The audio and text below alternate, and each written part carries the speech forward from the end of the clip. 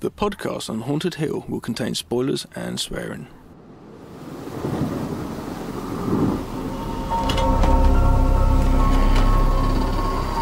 I am the devil, and I am here to do the devil's work. Think oh, so, this Michael. Be one of us. Oh, I didn't tell you my name. Hang up.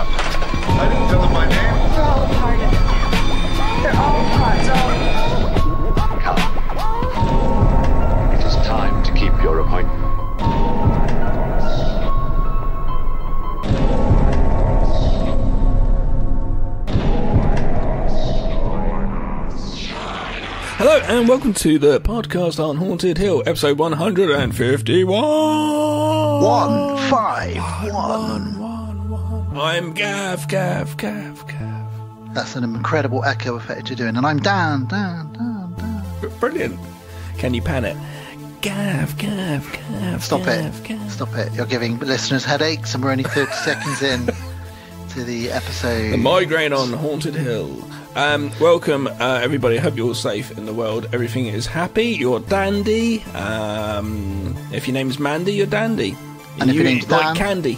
If your name's Dan, then you're dandy too. It's true. How are you? I'm very well, my friend. How are you? Very good, very good. Um, uh, have you, you've been doing much?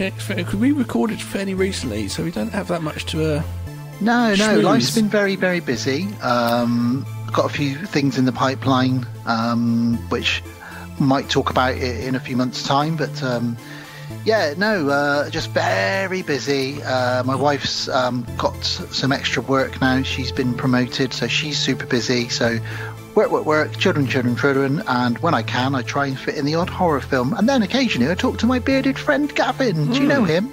It's recent. Uh, no, yeah, I look at him in the mirror and we talk to each other. Um, recently, uh, yeah, we we did an episode, and I think the next episode isn't too far off in the yonder either. Um, are you well in the world though? You're happy? You're good. Happy chappies, happy chappies. This, everybody, this is episode 151, and this is, um, as you know, it's our 10th year of podcasting, or if you don't know, I'm telling you now. And what we're doing for the, our 10th year is we are filling in the blanks with any franchises that we want to come back to uh, and try and finish off as well if we can. Because there's there's quite a few franchises we've started or, or come back to, or, or we're still working through some of the bigger ones. Um, so as well as as director specials for this 10th year, we're also doing franchise revisits. So a year or two ago, we started the Chucky franchise with the first two Child's Play films. So there you go. We are covering, no surprise, Child's Play 3 from 1991. Yep. Um, and the follow up, seven years later, Is it seven years? Wow. only seven years, 98, yeah. Uh, Bride of Chucky. Chucky gets lucky. Oh, yeah. Um, doll sex. Weird. Um, Oh yeah, that's about what, it. uh, last time we had Bob Hoskins uh, in the shower. Yeah. Just going to soap myself up. Fucking myself up for a little bit longer than it should be. And then t- this time Chucky's going to be Chucky the fucky, basically. Yeah. Absolutely. Chucky. I'm you know, Chuck. Uh, he likes to fuck. And what I will say about that scene is I do think that they they took inspiration for that when they made Team America and then they thought rather than just show shadows of dolls fucking let's actually show them because obviously in Team America it goes I've crazy. not seen it. Oh, it's absolutely crazy sex scenes in there between puppets. I, I think I've seen the sex scene. Like someone's like, "You got to watch that though." Like, okay. I went, "Okay, weird." But yeah, so we're covering basically Child's Play 3 and 4 um, this episode. So we'll be talking all about um, Brad Dourif, Jennifer Tilly, who gives me the willy, um, and whatever else we, we think of, really. Uh, I don't mean she gives me the willies and she creeps me out, as in, as in she's a rather beautiful lady. But um, other than that, Gav, I yeah. literally, I was just literally like, "Here's a shovel." Just gonna let you uh, dig yourself further and further into this Jennifer Tilly hole of your you're slipping into. Jennifer Tilly hole. Wowee. I shouldn't have said that, should I? Any keywords to do with sex? Oh my god, I've got to really think before I speak. Then I will not say this evening, just in case Well, you're aroused, and the audience don't want to know about your audible arousal. Well, let, us talk briefly on a little tangent in, about your other podcast that you do with your beautiful Sarah, uh, Mm-hmm. which is the High Strangeness. Your last episode was all about uh, caving gone wrong. Oh, And oh my god, I had a field day listening to that because you were talking about holes, you were talking about caving, you were talking about spelunking. Now these are all words when used normally are fine, but one of them was called um, the gaping gill. gaping gill. Mm. Uh, yeah, it's just brilliant stuff. you It know, was and as soon as before we started going. It was like this episode's just going to be this, isn't it? deep and shafts and all this kind of stuff. It was fantastic. So many key, sexual keywords into uh, caving. Uh, if, if you're um, if you're interested, do check it out on High Strangeness podcast. It's it's a terrifying thing. Would you go down a cave? No, absolutely not. And I'll tell you why. Um, I'm not. I'm a bit, little bit claustrophobic. Mm. Not like not on a lift or something, but if I suddenly can't move my arms, let's say, if I'm tied Oh, up, God, and some of those are just like using Yeah. their fingers just to sort of push themselves slowly along like a slug. But, but what cemented it for me was watching The Descent because Yeah. I think Christ, you know, if you die down there, you know, it's not just the fact that you're stuck It's down not just there. dying, it's no just a one slight can come and get injury. you. A slight injury and you can be fucked. Like really Yeah. could. Uh, just one bone in your, your like main part of your leg or something could just phoom, take you out. You're stuck. Yeah, it, I'm not really an extreme sportsman, Gavin. Um, in fact, I'm not really a sportsman. Uh, uh, anything really.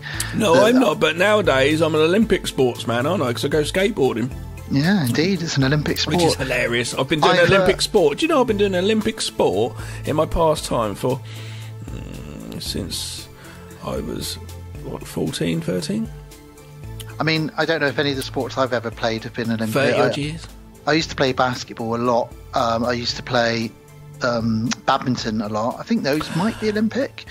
I, And- I want to try. Uh, oh no, I'm thinking squash. I was talking about that earlier today. Oh, I fancy hiring out a squash court and being like Michael Douglas in Wall Street Yeah, yeah. and just being a yuppie on the old squash court. That's what I fancy doing. Um, the other sport, uh, the only sport I really stuck at was kickboxing, which you know, as you know, I I got to black belt level and um, and quit basically. Um, well, it was a combination of Mic uh, drop. too to quit. Too legit to quit. it was a combination of a few things really. The uh, I, I, it was leading up to my wedding, so I wasn't able to keep going as often as I wanted at that point. I intend, fully intended to carry on full time, but then not long after, well, just before the wedding, obviously my mum passed away. Then, then the following beginning of the following year, the COVID thing happened, and then and then my kickboxing school closed down during COVID. So that's my excuse. Look, I got to black belt. What the fuck more do you want? Come on. I, I, I'm not arguing or anything. I don't, you don't I'm have to go defensive myself. on me. I know. Like, I'm, I'm just listening myself. to you today. Uh, yeah, I thought I had a ghost pooing uh, next door the other night. I, I, I, I was just like, what the hell? The bathroom light came on.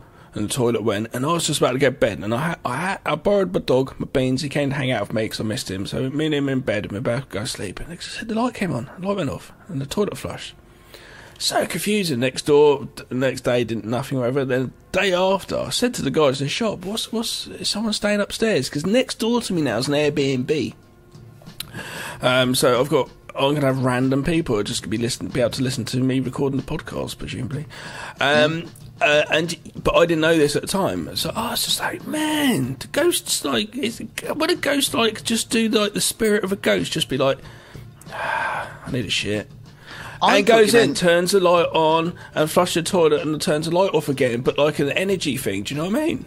I thought you meant your own bathroom light had come on, and because I would literally No. shit, shit myself if my bathroom light came on in the night and I heard the oh, flash. That, would be good, wouldn't it? I'd either think one of the children had decided to skip potty training and move straight to using the toilet in the middle of the night, Mm. and also able to open a stair gate and unlock their bedroom door. Children at night time. I remember waking up in the middle of the night, just waking up, and uh, Charlie, formerly known as Jasmine, uh, would have been Jasmine at the time, bent over the bed, staring at me, and just "Ah, ah, the hell? What the fuck are you doing? Yeah. Like, Jesus I remember the- Christ. the first time Jack scared me because Edith hasn't really done it, but when they were they were both in our room in their cots when they were very small, I woke up in the middle of the night and I thought something feels weird, and I looked down in the cot and Jack was sat up. He was only about I don't know six, seven, eight months, and he was sat up just looking up at me. And he just looked like a little Victorian doll because he was so, so small, and I was like, "What the fuck?" Nice. And I just looked at him, and he didn't. He just obviously couldn't say anything. Speaking of demonic children, do you know the new Omen movie's out in April? Yes, I do. Yeah, the first Omen. Okay. Oh, I, I was looking up. Um, Matey did the um, uh, the Halloween movies. Gordon Green, Da- Yeah, David. David Gordon Green. Yeah. I've, I've looked at what he's like, what he's up to now, what or going to be doing. It's like nothing's horror. Anything which was horror, tumbleweeds, completely well, gone. people won't go near him now because you know he just wants to. It sounded like a good idea at the time, but no, that's that's not even good. Mm, but so, there. but now this Omen movie's coming out. It's like, mm, okay, uh, wait and yeah, see. I'm still I'm still going to check out this Exorcist movie, which has been and gone the cinemas. Um, Yeah. I've not heard good things about it, but I'll check it out. you know what Um, is good, which is coming, which is Ghosty this month. What's that? Uh, uh, uh, yes, New yes, Ghostbusters indeed. movie, and I'm going to check it out in the new cinema in Farnham. It looks good. Um, I've uh, seen the newest and last trailer, which shows that doesn't really show much more, but everybody's in it. But there's still. I've watched somebody um, theorize because they, they only show the shoulder of somebody in some of the shots. I, and apparently this could be Rick, Rick Moranis' big comeback. There is people are talking about him being in it because they've kept Sigourney Weaver out of the trailers and she's in it. Uh, but apparently all the original cast have a much bigger role in this one. That's so cool, isn't it? If Rick Moranis is It- Batman, I I, am fucking all Look, over it. I think the thing was of like one of the main components is obviously uh, our World of a, World of a Strange intro, introduction list, and uh, he was a bit a bit grumpy at times, and um, just Indeed. did stuff here and there. And but I I think possibly doing that last movie, you probably then watched it and went, you know what, kind of enjoyed it. Um, it was uh, Ivan Reitman's son. You know, it was cathartic for all of the original cast, and it was a think good so- chance for so- them to honour and say goodbye to, so him coming back- Harold Sp- And the second one, it might be like, yeah, come on, like really into it, sort of thing. Because I know, like, the first, wasn't it the first Ghostbusters? They weren't. Oh no, it's the original Ghostbusters. They didn't even know if Bill Murray could turn up. Then just woof, Monday morning, at eight o'clock, he's just there. And they, but they had no idea if he would turn up or not. Yeah. It was like that. So it's just you know, but um, good. I'm looking forward to it. Yeah, I, I'm really looking forward to that this year as well. Um, there's a good few movies that are coming out this year that I'm looking forward to. Deadpool 3, as a Marvel fan, I'm looking forward to that as well. Yeah, I know. It was that second one. The first one I, I saw once. It, it, was kind of fun. And I'm looking forward to the, the Nosferatu movie, Eggers' Os- Nosferatu movie as well. So there's a few. There's, a, there's a couple of horror movies actually coming out. Um, uh, there's a few little bits and bobs actually coming out. We'll get to them as they come. I think. You know. Talking of talking of films then and stuff we've been watching or want to watch, uh, I've only got one film I wanted to talk about that I've watched in between our last session of recording. Um, what about you? Have you? Is there anything you've been watching? Some London I, I, gangster yeah, films? I, I just um, it's just after the episode. I thought actually, you know what, I'm going to do some more Guy Ritchie stuff. Um, I did Snatch and really, really enjoyed doing Snatch. yeah. Um, careful where you're wording that, Gav, because uh, you know Snatch is a British the movie Snatch. vulgarity. Yes, thank you. I uh, I really enjoyed watching. Good. Um, uh, and then watched a little bit of a making of that. Um, then I did a few more Guy Ritchie movies as well because I was just thought, fuck it, I'm going to do it. And Watched Aladdin, obviously. Yeah. Um, well, um, I watched um, Operation Fortune again, and again, no, it's a not a good movie. It's it, it frustratingly starts off good with like, this is the plan. I need you guys as a team of Jason Statham, uh, and this is your mission, and this is what you got to do, and it's quite fun. And then, kind of like halfway or so, it just kind of I- I just still haven't kind seen of it. Go.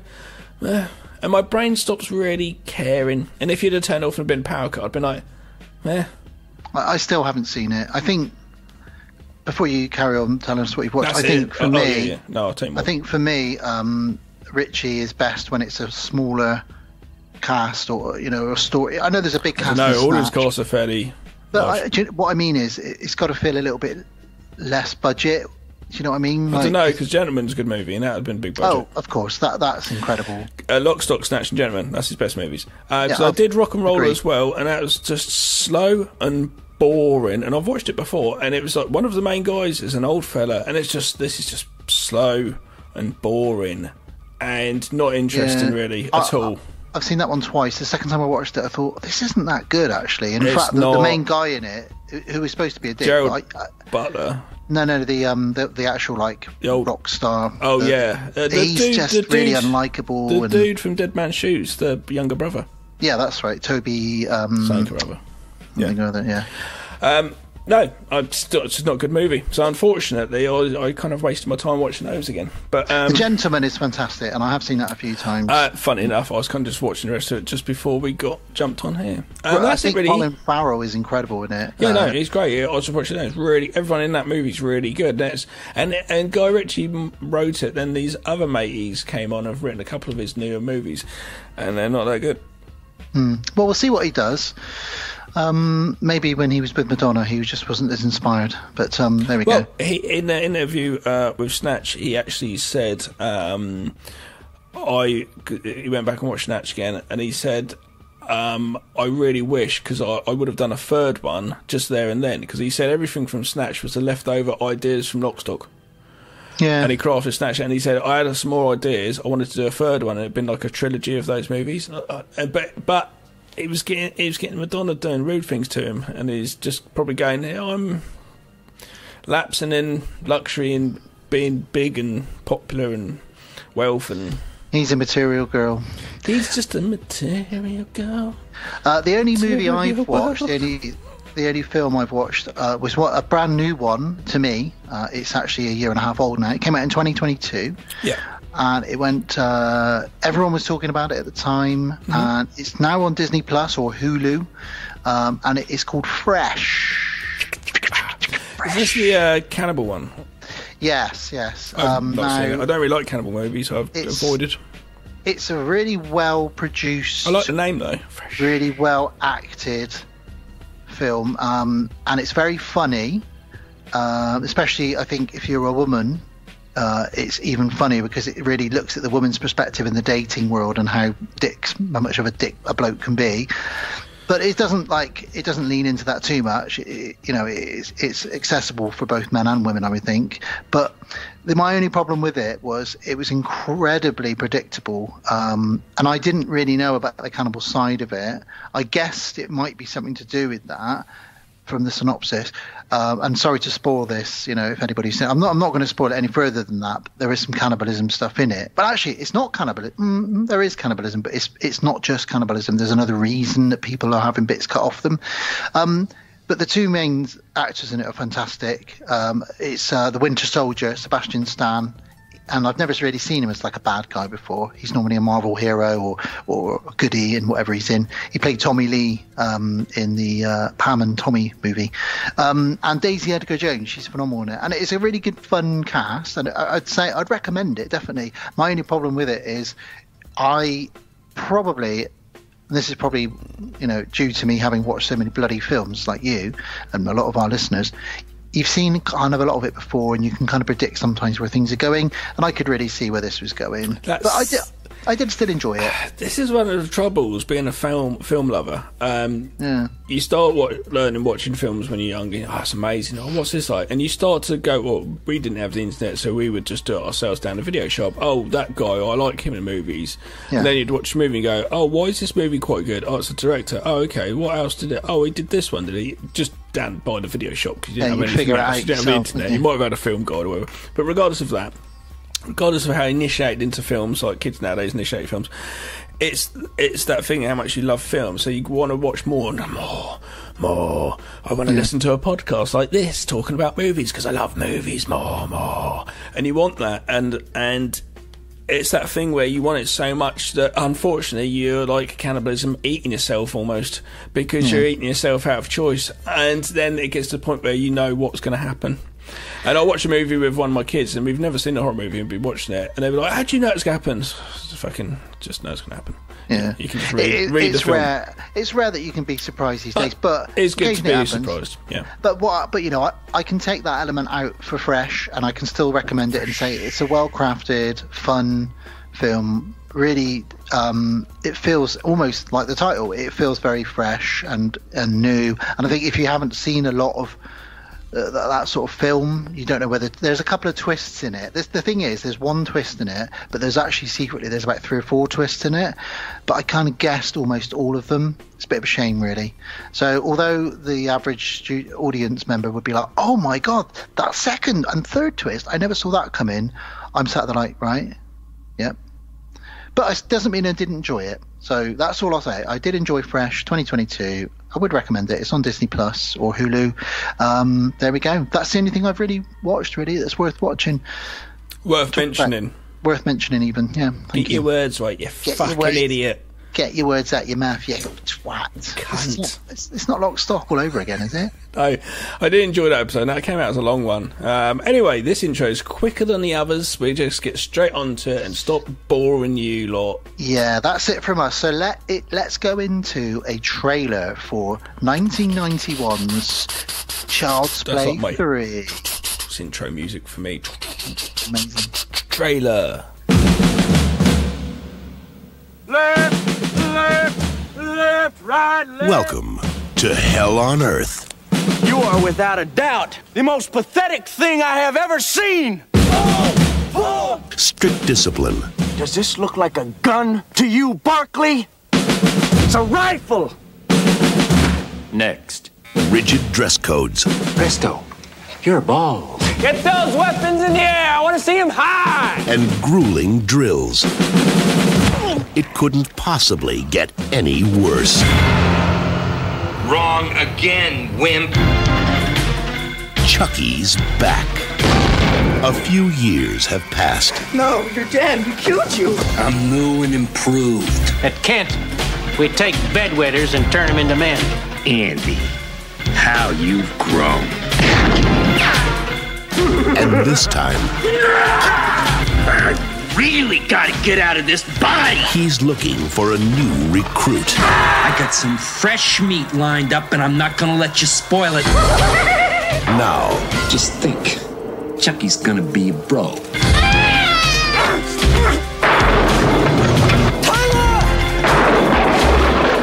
Child's Play 3.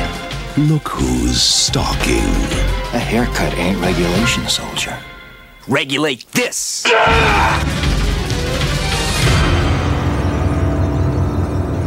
And we're back for our first review of this episode Child's Play 3 from 1991. Chucky returns for revenge against Andy, the young boy who defeated him, and, now, and is now a teenager living in a military academy. Bad wording there, they missed out a word, so I added it in. Directed by Jack Bender, who did a lot and does a lot of TV stuff, nothing really hugely notable. Written again by Don Mancini, who wrote the original Child's Play film, and was pressured into writing this, starting to write this this film before the second film was even out. Oh, it, it, it shows. Um, starring Justin Whalin uh, as Andy Barkley, another TV uh, face that a lot of people will know. and Um, what else did you do? uh, I think he was in Deep Space Nine or, or Star Trek or something. You'd know him if you saw him uh, as a teenage Andy, and obviously. Brad Dourif back as the voice of Charles Lee Ray, aka Chucky. Uh, you got to have Brad's voice, really, haven't you?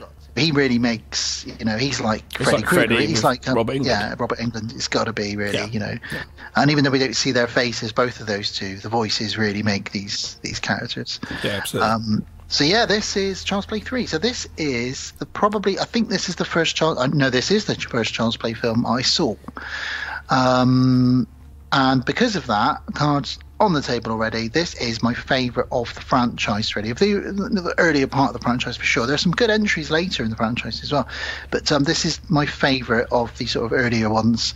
Um, I find it quite, at the time, quite shocking. Still do some parts of it now, and we'll get into that as we review it. Um, I think the practical effects are still fantastic you know, and, and they do remain that way. They start using CGI in the later ones, but in this one and certainly the next one, we'll be talking about Bride of Chucky. Um, you know, it's all animatronics and stuff like that, and and yeah, and this is where. Char- Charles Chucky starts to get a little bit funny in this one. It's it's not really until the next movie that it takes a Jason Six turn, is it, and becomes a full on comedy. This one is still a bit of a horror movie with a couple of comedy elements in it. But, um, yeah, so that's me. Uh, the first time I saw it, I can tell you, um, was ar- was at school, and the reason I, I know it had an impact on me is because I wrote an English essay on it. Um, because at the time, and we'll get into this potentially a little bit more as we talk. At the time, the film they tried to ban Child's Play three in the United Kingdom because They, no, uh, they did. They did ban it, didn't they? they they didn't know. Oh, they didn't. okay. No, they tried to ban it, and a lot of shops and video rental places removed it from their shelves, but it was never officially banned. The Sun newspaper plastered it all over their front page because it was linked to the death, the sad and tragic death and murder of a young boy called James Bulger or Jamie Bulger by two other boys only a couple of years older than him. Um, and they tortured and killed this kid. I'm not going to get into the details. If you can go and read about it if you want. Horrible. Uh, essentially, those boys had never even seen Child's Play 3. All that had happened is their da- one of their dads had rented it at some point because obviously they check all your records you know when you're a kid if you've killed a kid and you're a kid. So they checked you know the video the, the, the one of the dads had a huge video collection of horror movies but these two boys who did it who did the murder they'd never even they didn't even like horror films and they'd certainly never seen child's play 3 so it was all a, it was all a publicity thing but it did launch a huge censorship um, discussion in the united kingdom. So i wrote this uh, essay on it Well, you all can- about Sorry, I was going to say very quickly. Very, I, I won't interrupt again. Uh, but it's like um, you can see 'cause Chucky's like a little kid killing kids. I suppose that's how they looked at it at that moment in time. And if that movie's coming out, it'd been easy to just go for them. I'm not saying it's correct to go that way. You can see how they did it. Yeah, totally. And you know, and stupid uh, tabloid newspapers, probably who hadn't even seen the film, probably didn't understand that it was a. Uh, they never, they never you know- actually watch these things. It's always like, a- oh, you heard, oh, that movie's terrible. Ban that movie, but have you seen it? voodoo. No. I mean, it's about a voodoo. A, a, a killer who uses voodoo to transfer his soul into a, a doll. You know, it's nothing really to do with And- child murder or anything like that. And we do have still have the BBFC and etc. and uh, um, uh, whatever it is in America, I can't remember. and uh, uh, censorship stuff, we do still have it in uh, countries, but, with the internet and being able to like dispute things yourself and eBay and stuff like that, it's the Wild West, really, isn't it? You know. Yeah. So my essay was about the the increase in video censorship, which this movie kind of started really in in the, in '92 probably. It, And- it, it made a beacon, it, it put a light out there, sort of thing, to to go, if I was to go, oh, what else can we look at? So I wrote this huge sprawling essay about Child's Play 3 censorship. I included the Power Rangers because, and bear with me here, because at the time they were on Saturday morning TV, but you had Mr. Motivator, who was a lycra clad exercise guru, introducing the Power Rangers, but really hammering this message you mustn't copy them, kids. You mustn't do ninja moves on each other.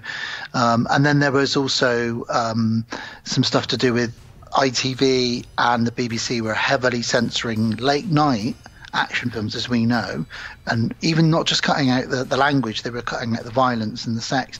So for some reason, like 13 year old Dan really took a disliking to all of that, and I wrote this essay, which I was very proud to say I got a B for, Gav, and I wish I still had that essay. Well done.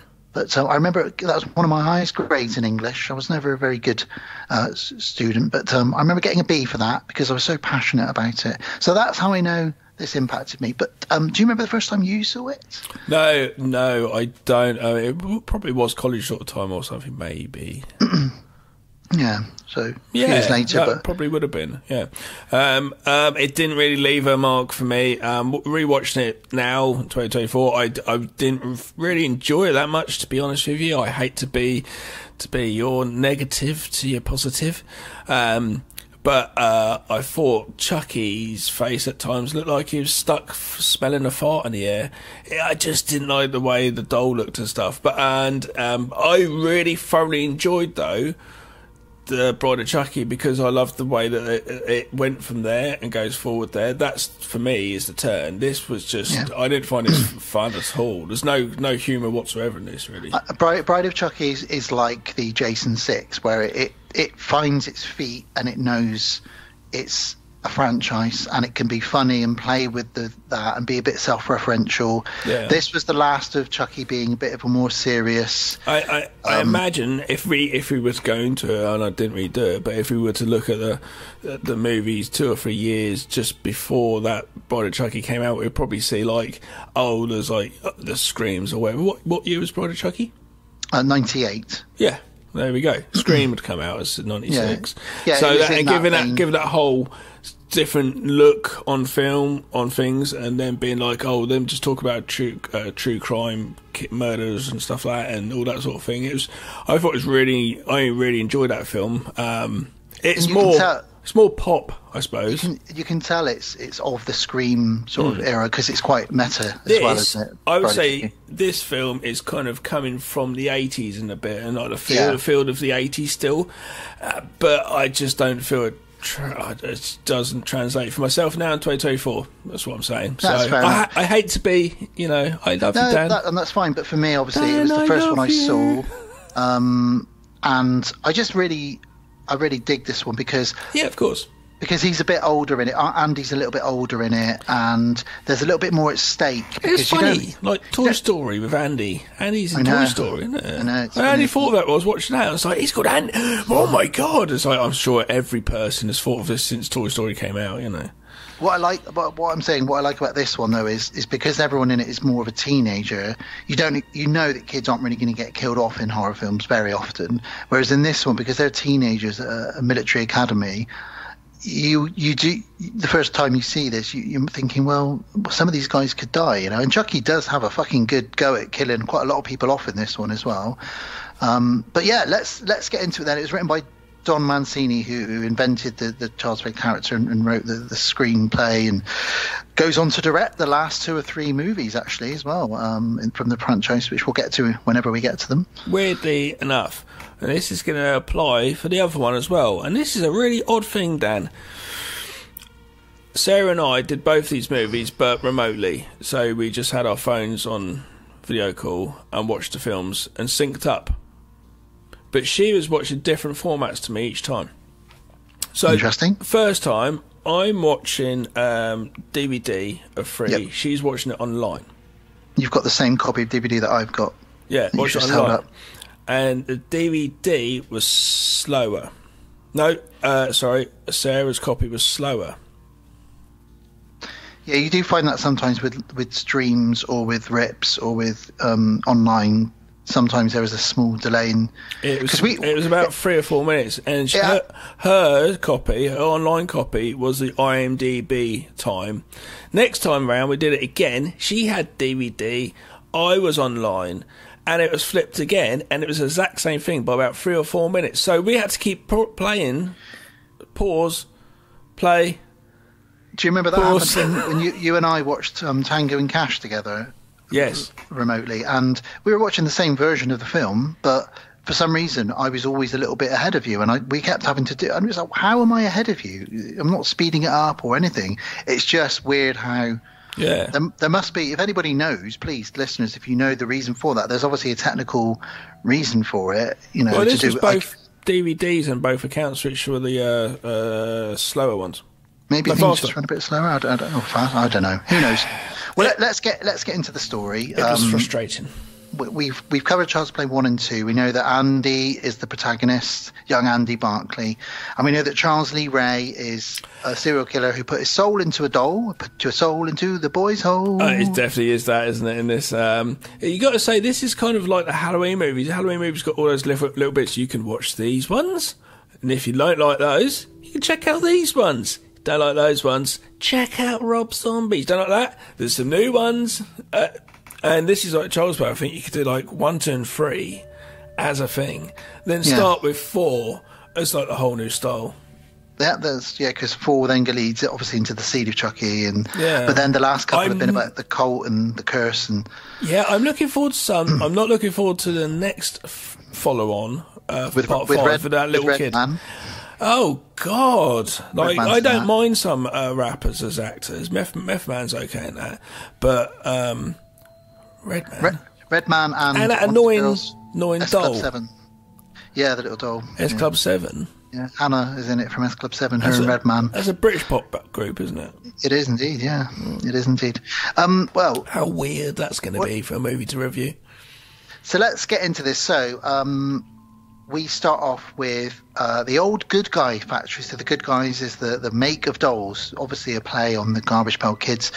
And they've gone back to the Good Guys factory um, because at the end of the last movie, Chucky was melted down and he died, we think. Well, he didn't because there's a whole bunch of sequels. Um, and they find the melted Chucky and they start funny that though, isn't up. it? All these movies. I love it. You know what's coming, don't you? It's, it's the classic. It's like one. he's not as a kid, even as a kid watching Friday the Thirteenth at the end. He ain't dead. He's not dead, is he? whenever they call a movie, you know, the final chapter or the end, you know that that just means it's going to be an even bigger thing when he comes back. You know, like Friday the Thirteenth Part Four, the final chapter. It's not. I know. It's fucking not. Stop! Stop trying to tease us with like, oh, uh, how, ooh, uh, do they think like, oh, oh, uh, Harold, oh, how are they going to kill, uh, kill him this time? Do you think? Because they, know- they says they're going to kill him. Freddy's dead, the final nightmare, and then and she's there going, Harold, it's the final nightmare, the last one, and then two years later, Oh, Maud, shut up! I'm having a they've poo. made they've made a seventh one. Can't believe it. They killed him off. How are they going to do it? We'll have to go and watch it. Who are Harold and her bloke? Harold and Maud, don't know. But we could make a movie about him. You and me play Harold and Maud. Love it. so yeah, they're cleaning up the good guys factory. Uh, they find the melted Chucky, and this is just the nice little credits. Sort of, but it's going on while the credits roll. And essentially, what they do is they pick up the melted Chucky and they melt it down, but blood is coming out of him because you know he's got a human soul in him, which means he does bleed, he can be injured, etc. Even though he's made of plastic. Um, and they create a new doll um, because in a, we cut to a well, then the doll screams, and that's the end. And that's because we cut to a board meeting. So this big toy company having tough times, you know, He-Man's not selling well or whatever's going on, and they say, look. Shall we bring back the good guys doll? And they talk about the controversy. Oh no, because that kid, Andy kid, said Oh, that he- that's his pre-internet. You wouldn't be able to do that with the internet. It'd shut you down in seconds. Yeah. No way. But they decide, you know, we're going to create, we're going to redo the, the Good Guys dolls because they were always our bestseller. And we've had a bit of bad, press over the years because of this, like, these murders that happened. But come on, a doll can't really kill someone. Why don't they? This is the, at this point here though. They could have brought a Chucky out with a, a little Run DMC costume on it, and that would have been like its new branding. like Teddy Ruxpin, but he raps instead. Yeah, and it'd be a little leather bowl hat and a little tracksuit, Adidas, and shit. And instead gold of chain. it's trick, instead of it's tricky, he's like it's, It's Chucky, Chucky, Chucky, Chucky, Chucky. Chucky. yeah. Well, um, they talk about Andy, they talk about Charles Lee Ray, and it's kind of a bit of exposition from the last two movies. Um, somebody asks, why would we put Good Guys back on the market? And, and eventually they settle on the, the, the, the boss says, fuck it, we'll do it. We'll, we'll, we'll get them back. Mr. Sullivan says, let's do it. And as the boardroom starts clearing out, they go, oh, we've got a surprise for you, Mr. Mr. Sullivan. We've actually made the first um, you know, good guy doll, and they give it to him as a gift. Little do they know that that is obviously got the Chucky blood in it. That is Charles Lee Ray. That is Chucky, and this is where things kick off. Really, Yeah, he's left alone, and he? he's uh, he's chilling. He's kicking back. He's got he's a bit of an asshole, but yeah, he's um, he's, playing. He's you know, jerking off to the newspaper because it's pre-internet. You know what? You know what these guys are like. This is like the Bill Murray in Scrooge type character. He's got a giant office with a golf putting course in it, whiskey, a, full bar, cigars, TVs, and you know he says to all of his cronies, "Leave me alone now. I'm here." And he's got the good guy doll in, in there, you know. And um, as the camera pans around, we see that the box is empty. Gav, what could that mean? It means Chucky is alive. Yeah. Oh shit! And we do get nice little POVs of something small running around. You know, the same things that we've seen before, but it's all it's all good. And there's a bit of a there is a a blueprint to the Chucky movies, and this film certainly follows those. Uh, the lights go out, and he uh, he grabs his putter, um, and we see the little feet behind, little feet running behind him. Some good, there's some good use of. Um, I guess they they're using little per, like little persons from some shots or children, and sometimes it's obviously animatronics. There's a really good shot in the next movie where there's an overhead shot Yeah. uh, and that looks so good because the perspective is so forced. It really does look like two dolls are fighting, but it's obviously just two actors in costume. So they do some good stuff in all of these movies. Um, the remote control is vanished, and he wants to turn the channel over. And see, he reaches underneath the sofa, and he's what's under there? What's under there? And this is where Chucky starts, because Chucky is an evil son of a bitch, and he doesn't just want to kill you. He likes to play with you first. So he he rolls some marbles on the floor uh, so that he slips on them, and then he turns on all the toys. There's like a, a remote control helicopter flying at him, um, and all the other good guys start talking. So there's a few other good guys in the office. Uh, Hi, I'm Robbie. I'm your friend to the end. Hi. Yeah. I'm... And it's like, what the fuck's going on? And he's freaking out. And then all of a sudden, I, lo- I love, by the way, his massive train set. Yeah, his he's got a big old suspended one. Suspended train set going around the office. Fucking Gav, hell. Gav, if you become the chairman of a giant toy company, you can have whatever you want. I'm going to have it, and it's going to have a dildo in it, just going round in a carriage, going round and round and round, just going dying, bouncing off shit. Amazing. Absolutely amazing. Uh, well, sadly, Chucky grabs the putter and smashes him in the face uh, and says, Don't fuck with the Chuck. One of many sort of Classic lines. classic lines. He then throws some darts into the guy's back. I've put it on mixtapes.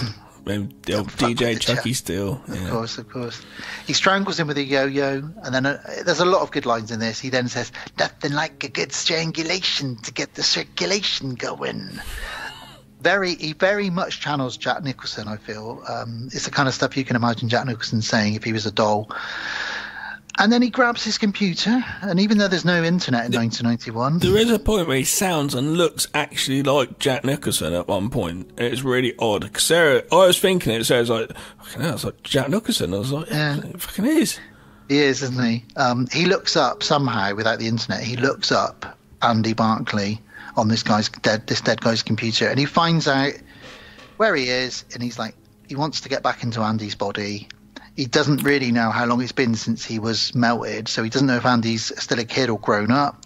It probably was the internet. Like the internet was around. It's been internet's been around for a long, long time. This is But I 91, know though. commercially it wasn't for like properly for a while. It still Yeah. could it could have been though. Well, what he finds is he searches Andy Barclay's name, and he finds that he's been sent to a military school. Uh, so there we go. That's the opening. Isn't it like an army academy? Yeah, military school. Oh, sorry. It's where it's where naughty kids get sent. I just heard school and I kind of missed missed off the military. It's basically majority of kids in these American military schools. A lot of them are kids that are just very naughty, criminal kids. Yeah. uh, and their parents can't be fucked with them, so they send them off there to instill discipline in them. Yes and no. Not all of them. I can't be fucked with them. Some of them just be like, I, I can't take it. No, no, no. I said, Yeah, yeah, yeah. I said most of them. There are going to be the ones there that haven't got much choice 'cause- because yeah. They haven't got any parents or whatever. Or some of them want to join the army, genuinely. Hmm. Um, but there is there is also like you know a bunch of fucking people here that kid's got in trouble. Yeah. yeah, yeah.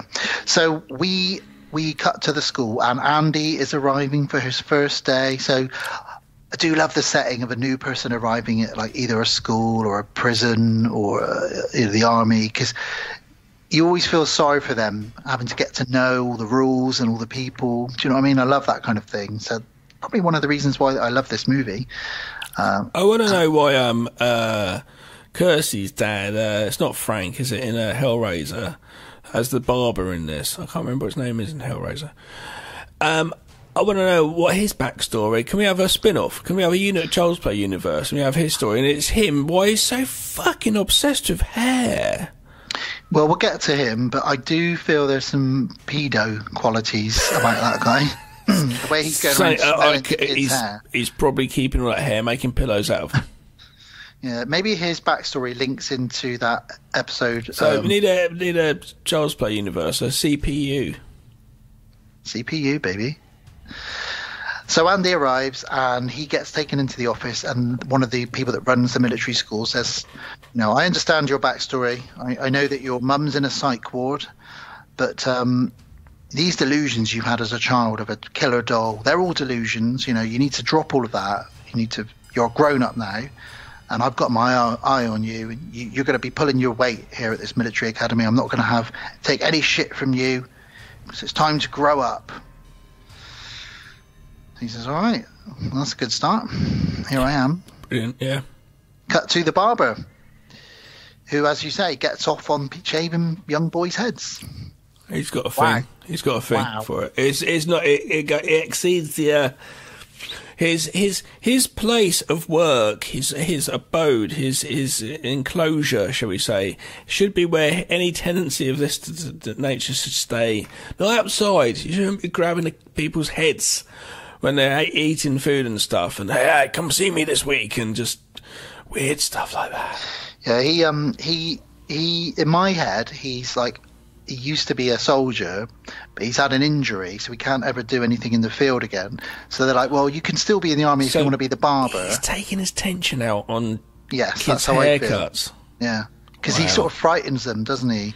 You know, and, Yeah. screams at them. So, and he's got a catchphrase. Well, he explains why not to have long hair, like because because you get your head pulled back and you get your throat slit. Just by the Romans. scares yeah. scares Yeah, them. he, he so Andy goes to visit him, um, and he, th- this barber's got a catchphrase as well, which is "Presto, you're bold." After he shaved your head, yeah, and he's talking to Andy, and he talks about the throat slitting, like you say. He says the Romans didn't like having long hair in the army because your enemy could grab your hair like this, and he runs a razor across Andy's throat. And says, you know, so that's why we have your hair cut short. And then he, he says to him, he runs his fingers around his hair, who's like a 16, 17 year old boy, and says, kiss it goodbye. It's like, what what is going on? Why is this guy so fucking. He's got full on It's a lot of rage t- ten, uh, bent up in that place. Yeah, it, he's not he's not that, letting that sexual rage out anywhere apart from through his hair, hands, and his scissors. While he's in there getting his hair cut by this absolute pervert, Andy meets young Tyler, very young boy at this military academy, a lot younger, playing his nin- his, his Atari Lynx, which was a sort of you know, hit, blink and you'll miss it handheld console that came out and didn't really do very well. It wasn't a Game Boy or a Game Gear, was it? Let's be honest. Atari Um, tried, bless him. They did try. They did try. Um, there was another one, wasn't there? The Nomad. Who made that one? I can't remember who made that one though. Dunno. There was there was a few of these handheld ones, but no, the Game Boy was the king, I think. Um, so he chats to this young boy, and while he's getting his haircut, a commercial comes on TV. And it's the good guys, and they are back on store shelves. And it's the little cartoon, and it's like, "Hi, I'm a good guy, and I'll be your friend to the end." And Andy's watching it, and he's getting the PTSD flashbacks back to when he was a child, and his mum gave him one of these for Christmas, and it tried to kill everyone around him. And he's thinking, that on top of a pervert cutting your hair for you, it's just not a good start to the military academy for young Andy. It's not, is it? Not at all. The worst my barber does when I'm chatting to him is sort of ask me how my week's been. Hmm. He certainly doesn't run a razor across my throat or smell my hair No. or say kiss it goodbye. I'd, I wouldn't go back to him. No. Well, maybe I would. I don't know. Maybe I would. Uh, Andy goes into his new room and he's in his room and he's thinking, well, it looks like I'm sharing with someone, but there's no one in here. Then he hears some noises coming from the cupboard. Yeah, fuck is going on with this? What's up? What's up with this, Daniel? Please. He has got the most geekiest, fucking nerdiest, bullied roommate who is Whitehurst, his name is, and he has been tied up uh, in the cupboard uh, by um, Shelton, who is like the um, that he's like the, the the kid in charge basically. He's going to be like a sergeant major when he's older, and they they basically have got um, Whitehurst as their their pet. He does everything they ask, and they've tied him up and put him in the cupboard as a prank. So Andy Andy initially thinks it might be Chucky in there or something, you know. But it, it turns out it's Whitehurst, and he says it was Shelton that did this to me. I'm sure you'll meet him at some point, and indeed they do because the next scene is an inspection. All the soldiers stood outside. I say soldiers; they're all kids, but they're all in uniform. And again, poor Andy doesn't know the drill. He doesn't know you're supposed to say sir and sir at the beginning and the end of each sentence. You know, it doesn't even know how to hold a gun later on or anything like that, you know. So we got this Shelton character who's an absolute prick. Uh, yeah, yeah. He, he, he's got dad dad issues. He's played really well because I fucking hate this kid, and he's screaming in everyone's face. You know, he goes up to Whitehurst and says, "You are a sorry sack of shit. You're the worst soldier I've ever seen." And then he looks at Andy and he says, uh, "What are you looking at?" And he says, "Oh, no, nothing, sir. Sorry." And he's like, "Da!" and starts screaming in his face, "You're gonna listen to me!" Da, da, da. And really screams at him. And then this is where we meet the lovely De Silva, uh, who is a female soldier at the academy. De Silva. She says under her breath, she goes, "You asshole." And Shelton says, what did you just say? And she says, Sir, I said you asshole, sir. so she's like got the biggest balls out of anyone. Yeah.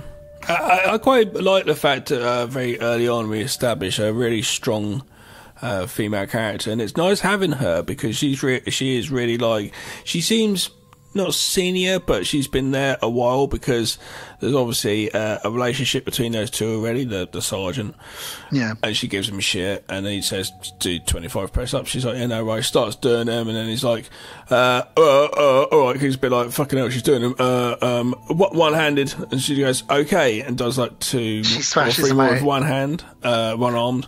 Um, and he's like, anyway, and yeah, it's just the way she she, she, she disses him. Yeah, she disses him. She, yeah, and Andy's looking at her thinking, "Fucking hell! Not but, only are you quite hot, but you're also a badass." But I, like, I, I, love the fact that she's uh, obviously she does think he's an asshole, but Andy's turned up and she's like, "Brilliant dick." That's what she's for because she very much fancies him. So she's yeah. gone. I'm gonna I'm gonna stack up for him because I'm gonna get some of that straight away, and I'm going to show him how fucking cool I am. But also, any girl that can do 23 press ups and then two more one handed, what a badass. Uh, I think it's 27 well, and three more because I think it's any, 30.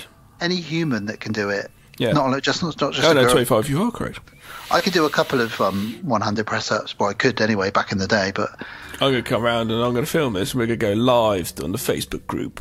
Well, I did the press up challenge once where I did. Shh. Like, so we're going live. We're okay. going live. All right, fine, absolutely. So, um, Tyler, young little Tyler that we met earlier, he goes to. He's got he's got ears like a vampire. Why? They're like, they're like light bulbs. They kind of go pointing, they go inwards. They're real big and rounded at the bottom. They go up and pointy, like a vampire.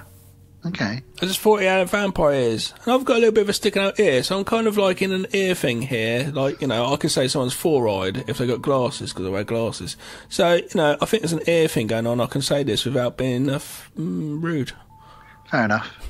Fair enough. Well, we find out a little bit of enough of a backstory of him because he goes to the um, post room and they go, Sorry, son, still nothing from your dad. So he never hears from his parents, this poor kid. And but he says, "Don't worry, I'm sure he's off fighting battles somewhere out there, and he's just too oh, busy." Oh, great. Great. But he, he, says to him, "Oh, um, if you want to make yourself uh, busy, though, um, there is a job, a special job that I can give you because this kid is like ten. So they say, look, this big giant parcel in the shape of a good guy box, dun, dun, dun, has just arrived for someone called Andy Barclay, a new kid. Can you take the parcel to him?" And he's like, "Yeah, yeah." And he's like ten, so he loves being given jobs to do. You know, it's like, great, I'll do, I'll go and do that. But as he's walking along, you know, this are... right, this kid, this kid has trust issues to the extreme. Yeah, but Gav, again, he's nine or ten or something. You no, know, like... no, no. Uh, my son is 10 this year, so we're, we're exact same ballpark here. Um, I'd like to think that he's trusted. I'd like to think if he saw, right, he sees a doll, yeah, almost his height, yeah, talking, wake up and say, "Oh, you fucking cunt," or whatever he says to him, and he says "fuck." He, and it doesn't it doesn't bother Elijah if that happens. That's one thing. then if he sees him killing people, if that does not affect him and think, oh, I don't know about this, then fair play across the board. Nine to ten year olds have this open trust issue.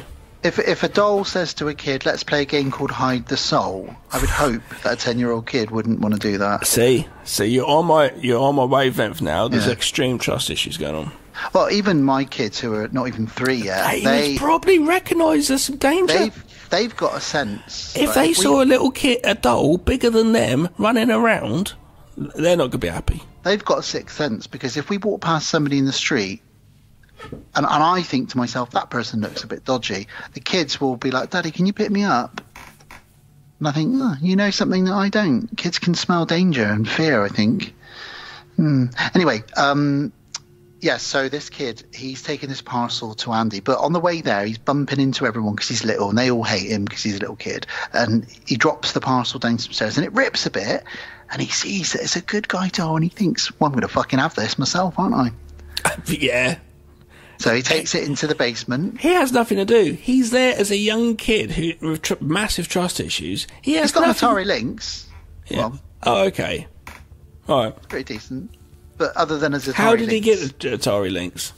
His dad sent it to him, I guess. Maybe. Did he? Did he now? Did he just Maybe. nick it off someone else's post? It arrived for somebody else. Little somebody fucker. Else is, somebody else is still there going, my mum sent, said, sent me an Atari Lynx. I'm still waiting for it to arrive. right. I'm glad this isn't Amazon times. That could be. No, I'll take it every time. I'll take it. Like, hang on, hang on. There's been a problem. Everyone's complained about every Amazon package going missing. I don't know enough about it. In, in his room, he's there, Are you saying? Are you saying if we go into little ten-year-old Tyler's room in this movie, it's full of like full widescreen TVs, shit from the- hi-fis? Yeah, absolutely, absolutely. He needs He's his like- he needs his own spin-off. He's like Nick the Greek from uh, Lock, Stock. Oh, he? totally. got He's it- flogging them all around the military place. Oh, did you did you not come in the post? I've got one actually. I'll sell I've got it a to Game you. Boy. Do you want a Game Boy? Yeah, fifteen Um, bucks. well, he opens, he takes the, the, the package down to the basement, and he's very excited because he's only a kid, and it's a doll, and it's, he's seen these on TV. so he, listeners, I'm glad I've established his trust issues. So you can let Dan tell the story of the child and his actions. yeah, so he opens the box and he looks at it, and he's like, "Oh wow, wow!" And he's looking at the doll through the through the little bit, bit of plastic, and suddenly Chucky, rah, jumps out at him, and then the first thing he says to him is, "Who the fuck are you?" Yeah. And and rather than sort of be a bit alarmed, the kid's like, "Oh, I thought you guys could only say um, ten different phrases." And then he's like, "Look, listen, uh, I, where's Andy?" And he's like, "Andy here." And he's like, "Andy Barclay," you know. And he said, "Where am I?" And he starts that, was, realizing, that was quite good. Then you're getting, well, it's getting that little range. Thanks. He starts looking around, realizing, you know, he's, he's in some kind of military school. And then he realizes that Andy would be a lot older. So he looks at this kid and he thinks, ah, I can get into your body. And then I've got even more years, you know, and, and it probably, I, spe- I guess part of his reason for wanting to go into a child's body is because a child wouldn't be uh, expected to murder people, you know? Can you change So- it to his spirit going into the child's body? yeah, spirit going into his soul. Uh, so he says to him, um, "Let's be friends. Um, let's play a game called Hide the Soul. you gotta pay the troto to get into the boys' hole. It's hide the sausage roll. Are you saying boys' hole or boys' soul? it sounds like you're saying boys' hole." Classic, classic. Uh, it's always sunny in Philadelphia. But yeah, so he he basically He does Tyler into Yeah. into saying let's play hide the soul. Cut into while that's all going on, we just have a quick cut to the shooting range. I d- uh, before we cut to uh, the trust issues with hide the soul, and I, like, yeah, no worries. How do we play it? Talking, swearing, doll. Lie down on the floor, and I'll stand over you and, and say the Brilliant. chant. Brilliant. I've got nothing else to do apart from And- and still, what- still male. And while I'm chanting, thunder and lightning is going to uh, be coming over the, the sky. You Excellent. know. Uh, and this is the chant, by the way, that he says. It's uh, Ade Due Damballa, give me the power, I beg of you, Valingella Santiera. And it goes on and on and on, give me the power, I beg of you. And that's how Brad Dourif gets his soul into your body. Sorry if you're listening, Brad. Um, anyway, we cut briefly Get to the, sh- the shooting range, and this this is a, another chance to find out De Silva is a badass because she is a wicked shot with a rifle. Cool she is. She's like Tom Cruise now. Anything she does, she's got a big smile. She's the happiest person at the party. And this is her first chance to flirt with Andy because Andy is shit shooting. Um, and me, she says, me put my arms around your Yeah. rifle. It's a real r- role reversal, though, isn't it? Because normally Yeah, it's the yeah, guy yeah, yeah. to the girl. So it's cool to see. And he's like looking at her, and she's like, "Don't look at me. Look at the target. Keep your eyes open. Squeeze the trigger. Don't pull it.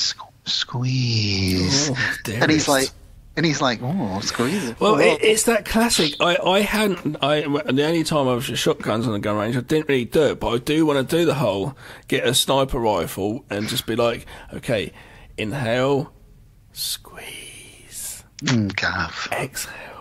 I went um, clay pigeon shooting for my brother's I, stag I do. have done clay pigeon. and I was phenomenal at it. I don't understand because I thought I'd be shit at shooting, but I hit almost every. I mean, we all did quite well, but I was like in the top two or three of the twelve of us that were there. I good. hit almost every one.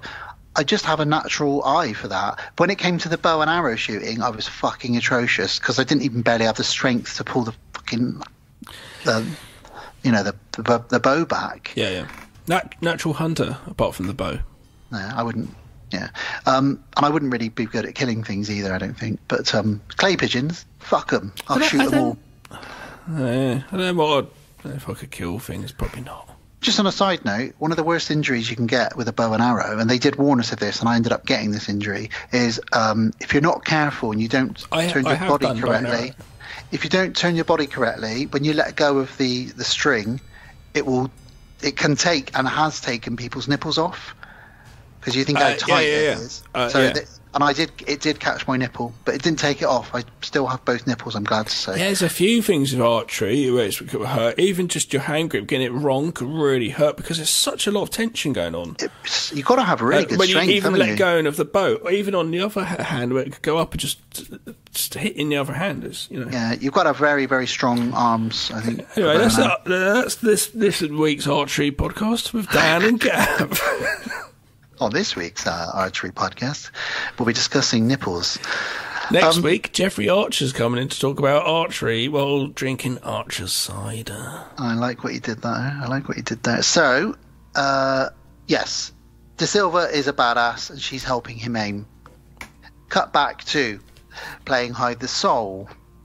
Luckily, two grown men interrupt this hide the soul game. Sort, Hey, good. Grown men should be interrupting hide the soul games. they sort of look at him like, Tyler, what are you doing here? You know, dolls are for girls. You shouldn't be playing with dolls. Is this a wa- on, is this a wanking thing? It's for it's for jacking off. um, so they take the doll off him, and as they take the doll away, he says secretly to Tyler, "I'll be back." Um, and then they take the doll away and cut to outside. And poor old Andy, this is his first time. He's going to have to do some rifle. Uh, Sort of, I don't know what you call it. It's where you spin the rifles and you move it from your left shoulder to your right shoulder and all that kind of stuff, and you're marching along. It's rifle shoulder spinny spinny. That's exactly the technical term for it. Thanks, Gav. Thank God you- you're a military expert. Um, whilst Andy is taking, trying to catch up with the rest of the group, uh, you know, and move the rifle in the same way as them, he sees and uh, Ch- Chucky being taken away by the the, the chief, the lieutenant. Chucky, Chucky's probably like, "Fuck this!" and I was being yanked along with my arm, you know, looking like a cretin. and this makes Andy drop his rifle, which makes Shelton, the uh, bad boy, go crazy. What are you doing, son? This isn't baton practice. It, it, again, another situation that it, it's just like in two things. There's Chucky, and I've got this fucking dude. Last time it was haircut and on the TV. It was the advert. And this is where you get that classic where um, he says, "Sorry, I- I'm just not used to guns," and he goes, "This isn't a gun. This is a rifle." And then he calls his friend over and he says, "Explain the difference." And he says, "This is my rifle. This is my gun. This is for firing. This is for fun," which we've seen in lots of Vietnam movies.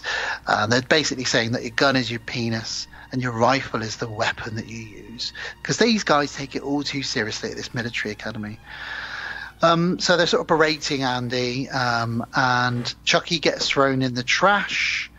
Uh, the lorry comes along, the bin wagon comes along and picks up the, the big trash can and empties it in, and Chucky starts screaming. And the poor fella, the driver, he thinks there's a human in the back of his uh, trash wagon, doesn't he? He's like, "Oh, I'll get you out of there. Hang on a minute, son." Literally, this guy's on the phone at a payphone talking to his wife, and I'll be home for dinner. I can't wait to see you. She said, I've got great news. Uh, and it's this amazing news. She's pregnant again. Did you know? This is the spin off again. I love that you've given the bin man a backstory in this. And he's happy. He kind of thinks it's probably that. They've been working towards it. They've been trying. And he's on his way home to, like, for the happiness. I got But- one more bin to empty on my my way home. uh, and lo and behold, he's killed. But the, the the happiness that came out of the story of this was that the little baby ended up being a bin baby, bin boy, bin man. Wow. Incredible tangent. Fucking hell. Sometimes you surprise me. Well, Chucky screams enough to make this guy get in the back of the bin wagon. The guy's trying to find this person. Chucky climbs out, turns the the crushing mechanism on. Kills and it's him. not just a crushing mechanism, it's like a spinning thing with spikes on it, and it crushes you at the same time. And yeah, it crushes him, dies. He screams. Shelton, Andy, and all the soldier boys on the field. They do. I like the fact that they all sort of run over to uh, actually like turn it off. They all jump up in the cab. And, Well, uh, they're, they you know they're excited. It's this you know they want action, don't they? Yeah, but they, they go straight over and they all work, start to kind of work together. One opens up the cab, gets in it, someone else does something else. It's do you know what I mean? I, I quite like the fact that they were un- straight away uh, worked as a team to turn it off.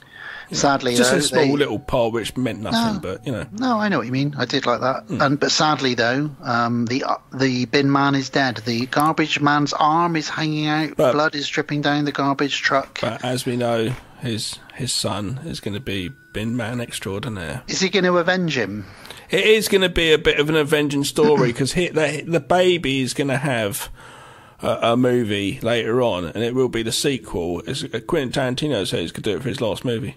Is it going to be Chucky versus the bin boy? Uh, it is coming back for Chucky because it's just a doll still, um, but um, it's going to be good. Interesting. Interesting. Well, after this terrible tragedy that's happened at the military academy, we are in Andy's room, and Andy's got a little knife that he's playing with. One Um, one thing very quickly, mm, uh, predominantly for a little while, all of Chucky's kills in this are actually uh, accidental looking. So even though Chucky's quite happy to make a scene, they're not. Um, um, so really, no one's any the like what the fuck's going on here. But uh, someone has an account of they saw a, a fucking doll doing something. It all looks accidental. The bin man looks like he was Yeah, obviously that's a died. good point. And the next one going on, I think, is the same as well. We'll get to. Yeah, no, that's a good point, actually.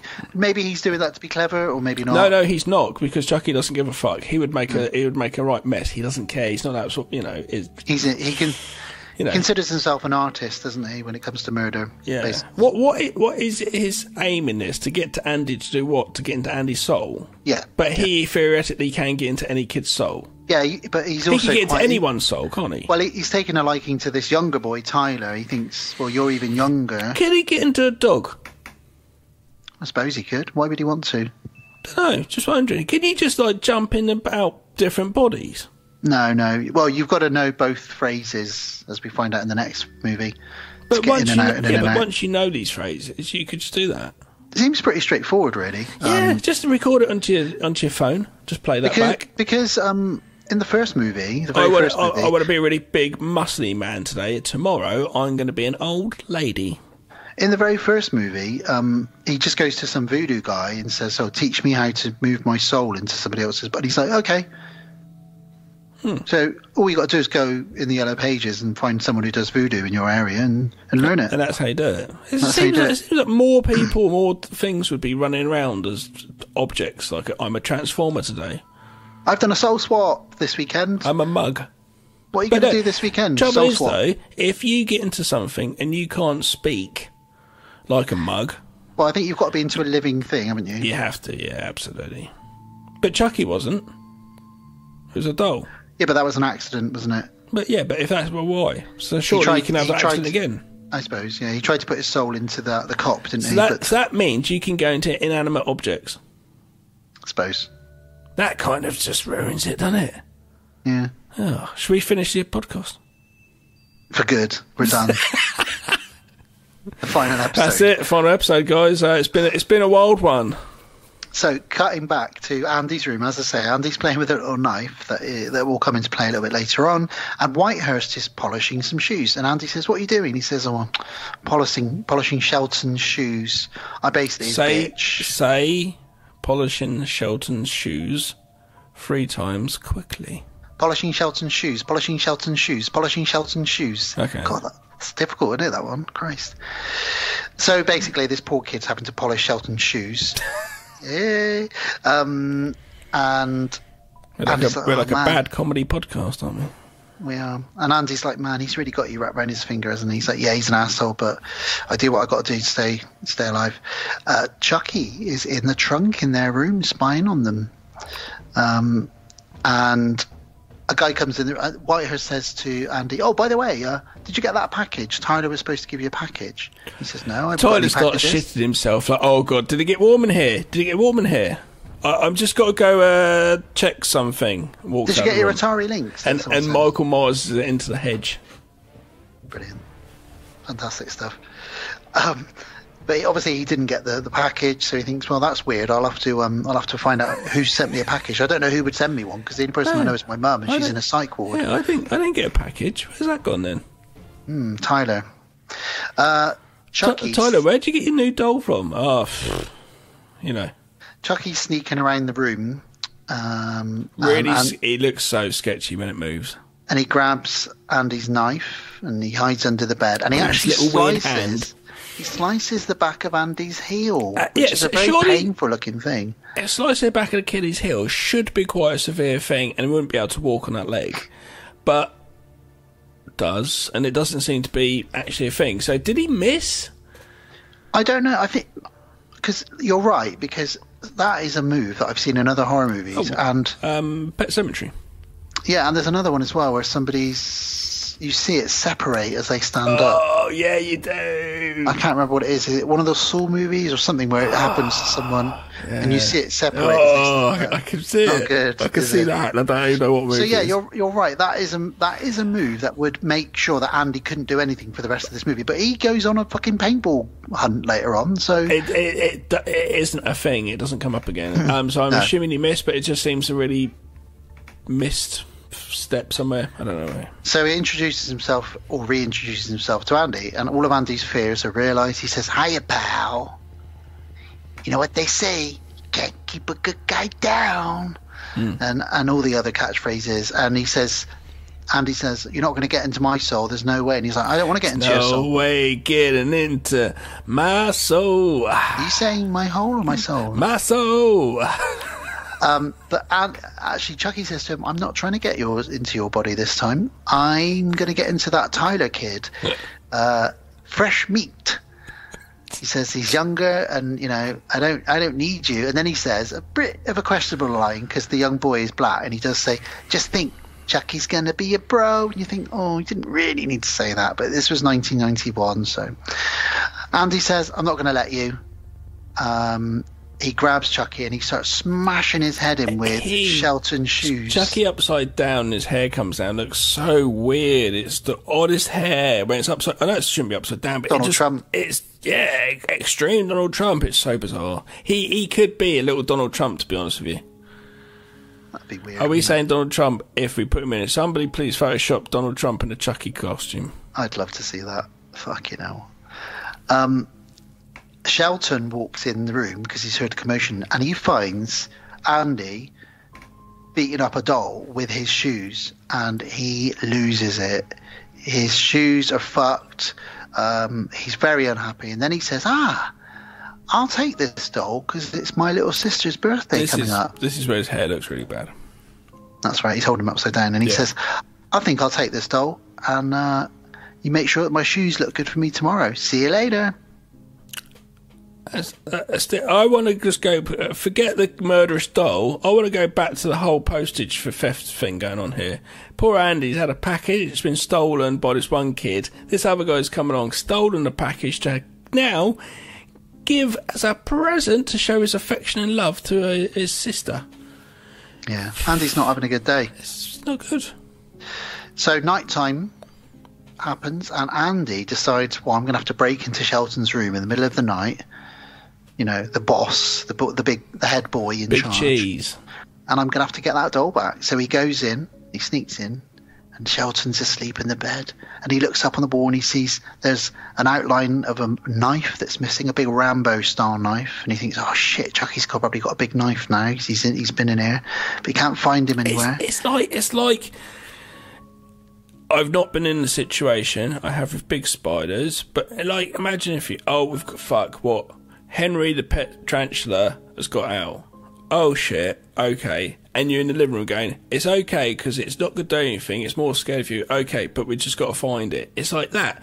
But instead, you've got a murderous doll with a big fucking Rambo knife. It's so it's so much worse. I don't want to look under the bed. It's just I don't want to. I don't really want to move, and any second it might run towards me. And if a tarantula runs towards me, I'll, I'll, I'll probably move. And, but- and on top on top of that, Shelton is asleep, and you don't want to wake him up. Um, oh yeah, that guy as well. A murderous stabby knife. But to, to be fair, if Chucky comes out, wake up the guy, do some military shit on him.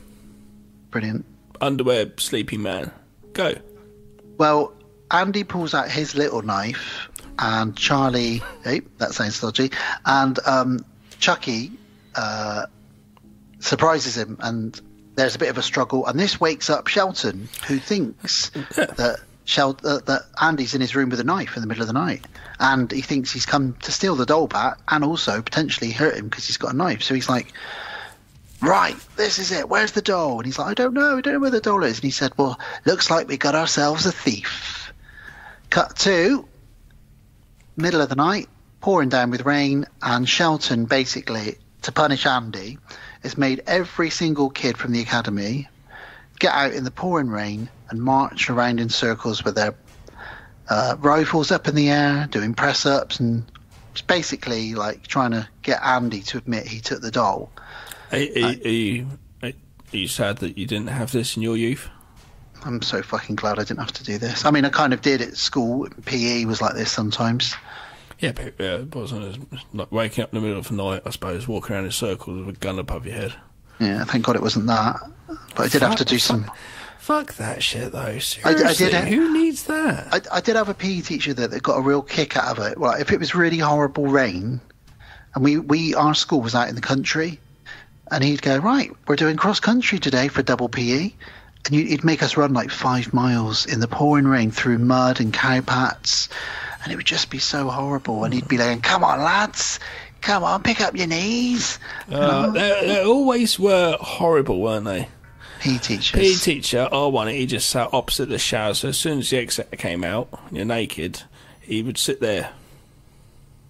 Having a look. Yeah, Was he impressed? I don't know. I never asked. Horrible. What did you? What miss? Like what you see? it's like a fourteen-year-old boy. one d- one day after a volleyball, one day um, we were t- we were in the sh- we were all showering, which we all hated as kids. Obviously, you know, you don't want anyone to see your private parts when you're going through puberty. It's what it is. What it is. But we had to, and there was one boy that was taking so long that our PE teacher came in the shower with the volleyball and threw it as hard as he could. You know how hard a volleyball is, and it hit this kid on the back, and he was naked in the wet shower, and it you you heard like the boing on his skin, and we all just thought, ah, and he said, "You're taking too long in the shower. Come on." I thought, what? So you're hitting him with a vo- volleyball on his naked back to make him? That's not going to make him get any faster, is it? Jesus Christ! Imagine being a PE, like at school now doing PE. It must be like so like everything's so sensitive. There's cotton, Yeah. there's cotton wool there. Don't trip. You're all right. Don't worry. Everything's okay. There's no one looking at you. We've got every gender sp- shower you can. Every, Yeah. Everything's. Nothing's happening. Everybody look down. Everyone's blindfolded. In fact, everyone's Yeah. safe. Back then, it was just volleyballs and. Oh, fucking and pedos looking at you, looking at your todger. There we go. So yeah, the others while they're doing this marching, they all start realizing that it's something to do with Andy. Very quickly, another thing, I've said this before, I think, at the same school I, I was at, right, a girl who was in my year, yeah, she was sleeping with the art teacher. Amazing. She, in fact, one night stole his car. I think she was like 16. 15, Where did you go to 16. school? I can't. I, I was about to say, I can't say that now, can No, I? After I've just it, said no. those things, and that's and that's just like, what the fuck? Yeah, that's crazy. Yeah, That's crazy. and I don't think anything happened to him, but yeah, but what the fuck? And it was a Well- known thing amongst all the all of us, though. Well, the other kids um, start realizing that this is probably Andy's fault, so they trip him over, and they're all sort of saying, "You're dead meat, Barclay," and he's like, "Oh fuck's sake!" And um, Whitehurst keeps saying to him, "Whatever has happened, you need to like own up to it because we can't run around all night." In fact, the officers come out at one point and they say, "What's going on?" And he says, "We've got a thief."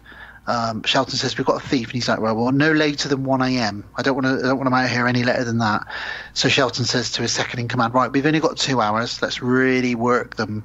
So they're going to be spending at least another two hours out there running around in the rain, doing press ups and holding their rifles. Poor kids. Um, Chucky uh, searches for Tyler, and Tyler thinks it's all a game of hide and seek that he's playing with this doll.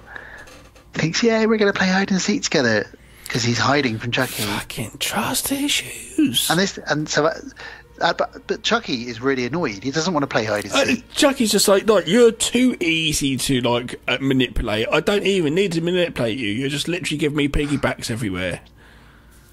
But Andy knows that Tyler is in danger, so he says to Whitehurst while they're marching, he says, "Where are the Where's the um the younger kids' um bed bedrooms?" And he's like, "Oh, they're over there." So he says, "Right, I'm going to go," and he sneaks off, and he thinks he's going to go and save Tyler, but Shelton catches him and says, "Where are you going?" And he punches. Well, he sort of pushes It- it- Andy. It's a good character to have, the the arsehole. For any moment you need need something to happen, throw the arsehole in there. Well, he stops Andy, and Andy actually punches Shelton, which really takes him by surprise. And he goes, "That's a good punch, and you're going to pay for that." Um, so yeah, he's. But at least we know Andy can swing a good punch, and he's hit our protag- our main sort of evil bastard in the face as well, which is good. So, Andy tells Whitehurst basically this is what's going on. The doll is alive, and it's after Tyler. And Whitehurst obviously thinks you are fucking crazy. Stay away from me. I don't want anything to do with you. Let's just march until 1 a.m. and then all go to bed. It, it, it, yeah, it is a bit like what? What, are you on about?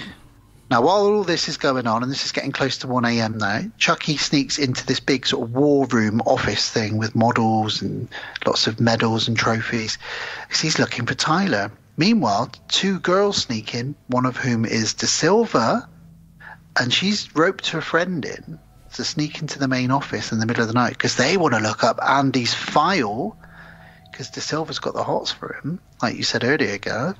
And she wants to know all the details about him. So they look up his details. Oh, right, yeah, cool. His mum's in a, a, a psych ward. And okay, yeah, that's good. That's good to know. Yeah, great, great. Okay, he's so dishy. I can't wait. Ooh, wow. So then they hear a noise and they find the Chucky doll. Um, they put some lipstick on him. Um, and then they, loves that. he does. I bet he's really fucking annoyed with that. Uh, they tell Tyler to stop, you know, playing with the doll. Come on, it's time to go. And they all leave because the colonel was coming. The colonel comes in the room. It's one of my favourite deaths, actually.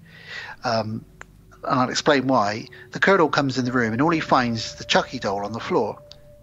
So he puts it in the bin, looks round, the bin's empty. And Chucky jumps out of him with a knife, and we're expecting this amazing kill. What actually happens is because this guy's a bit older and overweight, has a fucking heart attack, falls back onto a glass table, and dies. And Chucky does a thing reference here, doesn't he? What was that? You gotta be fucking kidding me. Uh, yeah, well, yeah, but it seems like the right thing to say for Chucky because he Yeah. wants to take the kill, and again, it looks accidental. And he's been denied. In, Yeah. th- in this case, he didn't even get a chance to do anything. he- All he did was jump out pissed. on this guy. He's so pissed off. Um, I remember as I remember as a kid watching this, think laughing my head off, thinking that's so funny because this guy just had a heart attack. He didn't get to do anything. No. Uh, just before this is where uh, Chucky sounded and looked like Jack Nicholson when he says, This means war. He does. He does say that. Um, so the body is taken away, um, the colonel's body, and the, everyone's very sad. And Andy, I think Andy says something along the lines of, you know, this is too suspicious. That's two deaths in you know 24 hours. This is weird. So the next morning it's breakfast, and uh, Shelton says, "This breakfast is dedicated to the colonel. Let's all take a moment of silence to remember a great man." Da da da da da. And while they're all having breakfast, Peter- Barbara's back. Pedo, Bar- Pedo Barbara. And Barbara? Barbara's back. And Barbara's going up to random kids going, Come and see me on Tuesday. Come and see me on Thursday. You come and see me after breakfast. And he's like grabbing their hair or smelling their hair. They're saying, like, when was the last time you came to see me, kid? yeah, I know. It's He- like, wow, this it. guy is fucking Jimmy Savile, man. somebody keep an eye on him, but they didn't probably care. Do you reckon there's anyone called Barbara Barber? There's got to be, hasn't there? Barbara Barber. Barbara Barberson. Oof. But yeah, his true perviness is shown here. Um, someone trips over Andy because Andy wants to go over and sit with Tyler. Oh, right. What were you going to say? Uh, because as he gets up and it goes off, I was like, "Oh my god, he's defying like the the man." It kind of is because they say you're not allowed to move tables. but Yeah, that's what I thought, and- and I thought it was more of a thing like that, but it wasn't really. he wants to go and speak to Tyler, so he goes and sit. As on his way there, he trips over the whole food hall. Right, of a leg put out. A leg, fuck, don't trip over. Some kid puts his leg out and it makes him look like a right dick. He does. Not nice. Um, he sits down and, and says to Tyler, who's playing his stolen Atari Lynx, we've established. Fucking cunt. Um, it's a 10 year old child, Gav. Thief. Fucking thief. Um, he says to him, Look, I want to talk to you about Chucky. He's like, What about him? He's my friend. You're just jealous because he wants to be my friend, not yours. And Andy's like, No, listen, you mustn't trust him. You mustn't listen to him. And you must stay away from him. And he's like, He's just my friend. He wants to play with me. Oh my god, trust issues kid. And Andy says to him, Right, we'll take this knife just in case. And he gives him his little stabby knife. Um, so now Tyler's got a knife on him, which is great. And then Whitehurst goes to the barber's because he's been ordered to go and see Mr. Pervert. And he says, Right, we're going to cut your hair.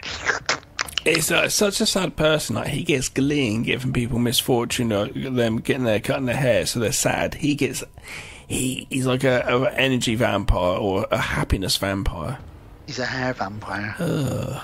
He sucks your hair off. a hair pyre. Ooh, that sounds like a disease. Um, Why did you get turned on by it? I don't know. Oh, disease. What's the sexiest disease? What's the sexy disease? I say vampirism. Oh right, yeah. I was I was going for the STDs, mate. Going, I don't know which one's the, which one's the less. Gonorrhea. Gonorrhea is really hot. Yeah. Chlamydia. Uh, I love the look of genital warts. Oh. Um, so Whitehurst gets his head shaved, and of course the barber says, "Presto, you're bold."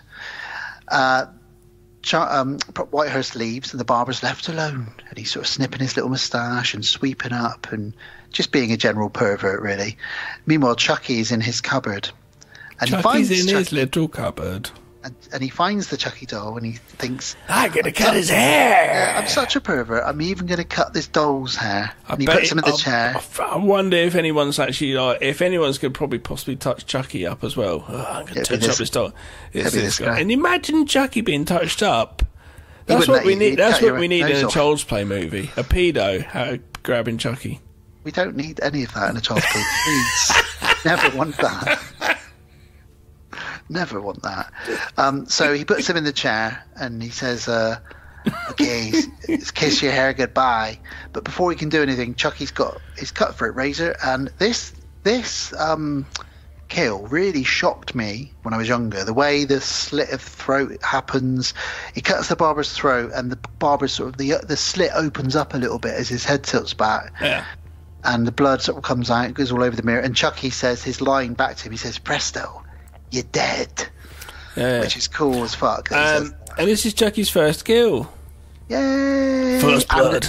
And, a witness because Whitehurst has left his jacket. He runs back down into the barber room, sees the barber dead with blood everywhere. Well, he goes, and "Boo." Chucky, yeah, but Chucky just says boo.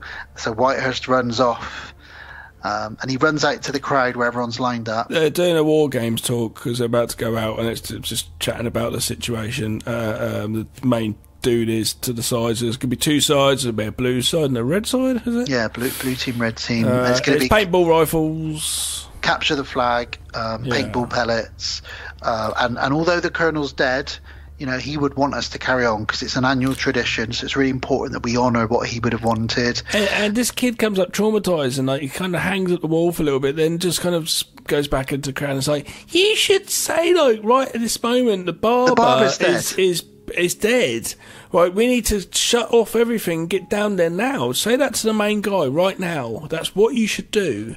Because that's the third person die in the last 24 hours at this military academy. You know, it's, But uh, he just gets in line and won't say anything. But he's he's in shock though, isn't he? He's he's in shock at what he's seen, and also it's sinking in that what Andy told him. Because Andy said to him, the doll is after people, so he's starting to think, okay, so he's a wreck. You're right, he's a wreck. Meanwhile, holy shit, in the ammo room, Chucky decides, I know what will be fun. Let's replace all the paintball pellets It's not with all real bullets. Well, It- it's half. just it does some. Yeah, but again, that's incredibly shocking that these teenagers are going to go off into the woods, some of them with live ammunition, and yeah, not know. Yeah, it's pretty full. On. It's pretty full on. Fucking hell. This is why I, why I love this movie, because there are some If shocking it had been factors to it. if it had been all of them and they literally just annihilate each other, that had just been. Well, you couldn't make that film nowadays. Funny you say that. It was originally going to be all of them, and that scene later, it was going to be a real bloodbath. Fuck. But they rewrote it and reshot some of it, and in the end, they re- they decided they couldn't kill that many teenagers in one. so Yeah, they, yeah. they, in the end, we only get a couple of deaths, and actually, it's more meaningful the deaths that we do get when we get to those as well, because only a couple of people really get killed. It does mean a lot. Um, but even so, it's still shocking that live ammunition has been used and they don't know. Um, a bit like Alec Baldwin just waving a gun around and not realizing, you know, whoops, sorry about that. Uh, anyway, sorry, that's a bit too too soon, maybe I don't know. Uh, so they march into the woods, singing their little song, and Whitehurst says, "Look, I saw Chucky. Okay, I saw him. I don't want to talk about it anymore." And we cut to night time, and they're all camped out. They're taking this paintball game incredibly serious. They're sort of having to camp out It is very serious, yes. and sort of they're really trying to take down the other team. They can capture other people from the team if they want, or they can shoot them. Um, and this, you know, the goal is to capture the flag, basically. Um, so they're all sort of telling campfire tales, and De Silva and Andy get some alone time. They're overlooking the, the town nearby, and they see a fun fair down at the town. And this is where they have a little kiss. So uh, good on Andy. And De Silva finally got what she wanted as well, which is good. But there's a sneaky little red-headed pervert watching him kiss, isn't there? Yeah. Chucky's in the woods watching. He is a little bit of a pervert here. He's like, oh, Have they done, have they done Chucky parody porn? I, I should imagine so. If they've done ET porn, they would have done Chucky porn. I heard about that. An, I listened to another podcast the other day. It's a podcast on the left, and they uh, mentioned the ET porn. They talked about a little bit, and it's bit like, oh, it's so bad. The one, the one that fascinates me, which I've never seen, and I probably should Google it at some point when Alice isn't home, is um the Edward Dildo hands. I can only imagine Hmm. what the fuck goes on there, really. Edward Dildo hands. Fucking hell. Who came up with that? Don't know. Was it you? It was not me. okay. Um, so yeah, they uh, they kiss, and Chucky watches that. Uh, Andy says to um, Whitehurst, "Right, I'm going to go off. I'm going to sneak off. I'm going to go and save Tyler because Tyler's on the other team." So he sneaks off. Whitehurst says, "Well, I'm not going with you. I'm too scared. I don't know what all this is about." Uh, the blue team start to move out, and they they can't find Andy anywhere, and they say to what um, to Whitehurst, "Where the hell is Barclay? He must be a traitor for the red team. That that double crossing son of a bitch." Um, Tyler sat up in his tent, and uh, Andy's searching the woods looking for him. And this is where we see a bit of a Yoda now, because Chucky's on Tyler's back, uh, marching through the woods. Yeah, I, it's really weird. At this point here, kind of should be almost, and there shouldn't be any rules. You should do whatever the fuck you want. It should be kind of the third act, but it's kind of weird. It just kind of just, just doesn't feel like the story doesn't um, work properly. Almost, it feels like it just kind of flows along. It just keeps on going. Do you know what I mean? Yeah, the third act is like the fun period, isn't it? Yeah, and it's just I don't know. It's just This is know. the end of the first act, I guess. I wasn't having emotional ups and downs and as as I should as such. Do you know what I mean? I'm not expecting much it. It's a, it's a part three in a, a franchise of horror movies, but my issues were I just wasn't. The story felt very flat. Yeah, fair enough, fair enough. Uh, well, so Chucky is on Tyler's bat and he's basically he's marching him. He's got a knife to him and he says like, "Let's play hide the soul. Come on." He pulls a knife on him. Um, sorry, Tyler pulls a knife on him and stabs Chucky and runs off. Um, and then Andy gets caught by the blue team. Um, they call him a traitor, as I say. De Silva gets jumped by Chucky. Onto onto uh like I onto her back shoulders was it sort of thing? How Yeah. yeah. She, does he jump down from something? Uh, I can't remember how he does it now. Um, Maybe he's just really good at jumping. We never knew. Yeah, little ninja. Tyler gets caught as well, and Chucky grabs a radio and, and he sort of radios one of the team and says, uh, This is good though because this is the best thing. We have this in the next movie as well, where he shouts out, "Where the fuck are you, Tiffany?" "Yeah, uh, uh, uh, while he's inside and is uh, just a normal person outside. But because it's his voice, he does have the power of being able to do stuff like radios, phones, ring emergencies, call people, find information without someone going, "What the fuck? It's a doll." And this is very clever, this scene, because of that, because he radios one of the teams and says, We got a situation here at the old Jeep. Can you come and meet us at the old Jeep? Oh, right away, we'll be, we'll be there soon. And then he radios the red team and says, Red team, red team, come on in. I think I spotted the blue team here at the old Jeep. And he basically knows that these kids are going to come together at this spot that he's asked them to come to. Yeah. With Uh, some of them with live ammunition Yeah, totally. And he's waiting for a bloodbath. Plus, he's got Tyler and De Silva there. Uh, so it's all coming together for him. And he's holding a fucking grenade. Chucky's got hold of a grenade as well. So, It's not good. A kid, a killer doll with a Rambo knife and a grenade's not good. to survive war, you got to become war. That's my little Oh, I'd Rambo. love to see little Chucky dressed as Rambo. Well, we've seen Gizmo dressed as Rambo. I know, but Chucky'd be nice. I think we should get we should get a little uh, Chucky for the studio down that we don't actually have, and um, the virtual studio. Um, no, because we want it. But we could one we could actually dress up into different movie stars. That's a good idea. Liam my Neeson in kids, Taken. He doesn't really have a costume, but we could try put a shirt and trousers on him. when I take my kids into the city centre sometimes to go to one of the soft places. isn't there? Yeah, loads of different clothes you could buy for little people. Little. No, kids. no, no. I think you're getting it wrong. When I take them to the city centre, I go past this TV and movie store that sells all the prop replicas. Oh. And they always want to stop and look at little baby Yoda and all the other things, but they always want to stop and look at the Tiffany and the Chucky life size dolls. Right. And they love them so much, but little do they know what they actually are. They just think they're like cool little dolls that are the same size as them. but I know, like, I know the shop you mean as well. Is it the one where just if you just look out of it, there's an escalator going up? yes. Yeah, I know the one you mean. I was, Yeah, yeah. I had a look in there last year actually. Yeah, it's a good little shop. Can't remember the name of it now. No. Not that we're going to mention it because they're not our sponsor. So Sponsor us. sponsor us and we'll mention your So name. does, so does Chucky dolls. Um, so yeah, Chucky's Chucky's got the grenade. Shelton says, "Don't be worried. It's only paint, Barclay." Well, we know it isn't. Some of it isn't. Andy and Tyler arrive at the Chucky, uh, Chucky in the old jeep, and they say, "All right, we'll swap you, Tyler, for De Silva." Um, so they they manage to switch them over. So Chucky's now got Tyler, um, and then before they can finish the transaction, the two I- teams I'm sure. Tyler at this point is like, I don't know what's going on. I just want to play hide and seek I'll go with with my new friend. He I'll go with my friend. Charles Lee Ray. I'll go with him. Yeah, he's even told him his real name. Hi, Charles. Um, but the two teams arrive, and during the commotion, they start shooting each other. They see Chucky there, who's laughing his head off, He has a grenade unpinned. uh, and Shelton is shot in the chest and killed. And somebody shouts like, "Oh my god, it's live rounds!" And they all stop shooting. Chucky is absolutely laughing his head off at this point, like an absolute maniac. They're all like shocked that Shelton has been shot and he's dead. Um, we need to get a medic immediately. Chucky then throws the grenade, and Whitehurst is the only one that really sees it. And even though he's a wimp and a nerd and a poor geek, he is the only one that can save them all. And he dives onto the grenade and is exploded and killed. What a gentleman. And Chucky runs off. So we've we've lost Shelton and we've lost Whitehurst. And I'm glad that that's really the only people that really got killed because it, it's more meaningful. Like I say, that it was just these two.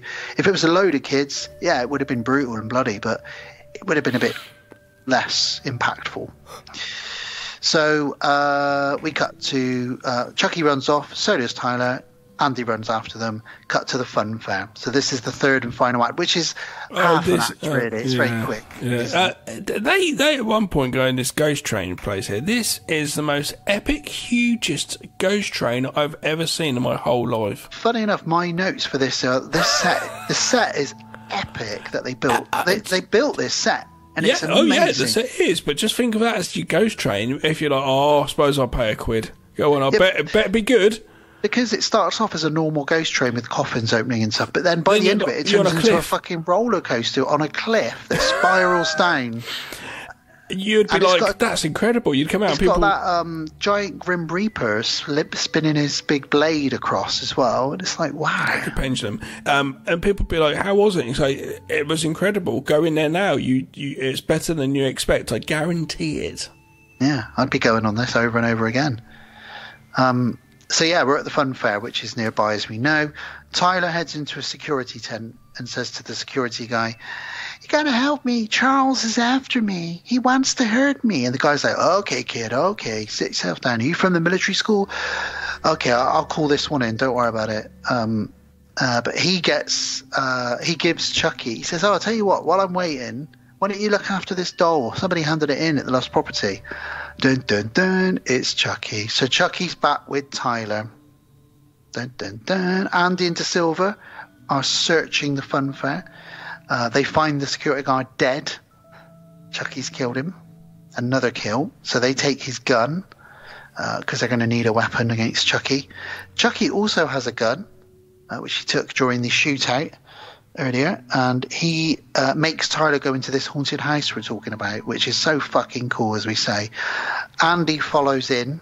Um, Tyler manages to escape from Chucky's clutches briefly, um, uh, but he is um, he's really scared by all the sort of different props and gags that are jumping out at him. So he's, he ends up hiding in a cupboard.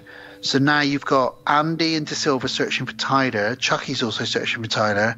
So they're all in this ghost house full of um, dry ice smoke, and it's all very cool, very amazing set. It's a shame they didn't spend longer really in this fun fair. I feel like this would have been a really cool final act, really, but it feels like half an act because it's rushed almost. Yeah, because obviously with with Chucky being like a, a, a doll and a toy, it would kind of it sit it sits quite well. Uh, uh, in a fairground, even other the rides on the fairground, this could have been a bit more like, a, for example, I'm jumping straight away. Remember Doctor Giggles? Yeah, yeah. That's like a big bit in the fairground. There's been a lot of movies that do, but yeah, I think Chucky could have easily. But this is just such an epic thing. They must have spent quite a lot of budget on this, maybe. Yeah, just on this, really. Uh, Unless, probably, unless it was already a ride. probably this and the Chucky effects were like the budget, really. The rest of it was just like the military school. Um, anyway, it ends up with Chucky shooting De Silva in the leg, so she's kind of out of action. Now you've got a murder doll with a dog. A dog? A, a gun? Fucking hell. Why did I say dog? I don't know. Please don't ever get a gun and a dog muddled, muddled up. Jesus Christ. I've just taken a dog out and come back with a gun. Uh, yeah, so she she gives Andy So her where's gun. the dog? She know. gives Andy. She gives Andy her gun. Tyler gets almost run over by the ghost train because he's climbing along the tracks. Um, and then, like we said, there's this giant Grim Reaper uh, with its scythe slicing backwards and forwards. This is nasty. And it's a Yeah. doll. Yeah, Chucky's She- face gets sliced off, like half of it. Yeah, well, Andy climbs, manages to climb to Tyler, um, and Chucky starts doing his um, "Give me the power, I beg of you. I have the power of Grayskull," and Tyler is unconscious at this point. The lightning strikes, then he shoots Chucky in the arm, which distracts him, um, and half his face gets sliced off with the scythe. There's a bit of a struggle. And it basically very quickly evolves into them all hanging off of the edge of the cliff. Chucky's little legs go up, just shaking Yeah. away as he goes. and in the end, Tyler gives Andy his knife back. He stabs Chucky. Chucky gets thrown off the cliff, flies into a giant fan. Completely and utterly sliced, but yet somehow managed to come back. Jennifer Tilly is a fantastic seamstress, as we'll find out in the next movie. Um, and yeah, he's chopped up to bits, blood and plastic everywhere. And it ends with De Silva in an ambulance, And Andy taken off by the cops. He is in deep shit because they are linking him to all of these murders and deaths so far. And the funfair lights go out. And that's the end. And it's a good score as well. I've always liked the score for the Chucky movies. And that's it. So, really fun ride, but um, very rushed ending, really. I wish there was a bit more in the funfair. And as is often the case, you know, with some of these movies, there's a lot happening, but also it's not really saying much in the last act. They're just rushing to the, the credits, really. Uh, Obviously, you always get interference, but if it was, if let's, let's say there was no interference, we don't know nothing about it or anything like that from You're talking about the barber again with interfering. no, producers and their notes. Yes, I like. I think in editing, I do think you could probably look at it, movie, move some things around, and, and get some beats going on a bit more, and uh, work with it a little bit more. And I think it might work a little bit better. Uh, maybe in, in script it's cool, and maybe then they struggled to shoot some stuff and run out of time, or something. It, I, for Also- me, it doesn't hit. You know. Let, let's not forget that Ma- Don, Don Mancini was pressured into writing this before the second film had even been released. You know, it's filmed, but it was hadn't quite been released, so he'd already so started writing. already, this. script isn't really in a good way.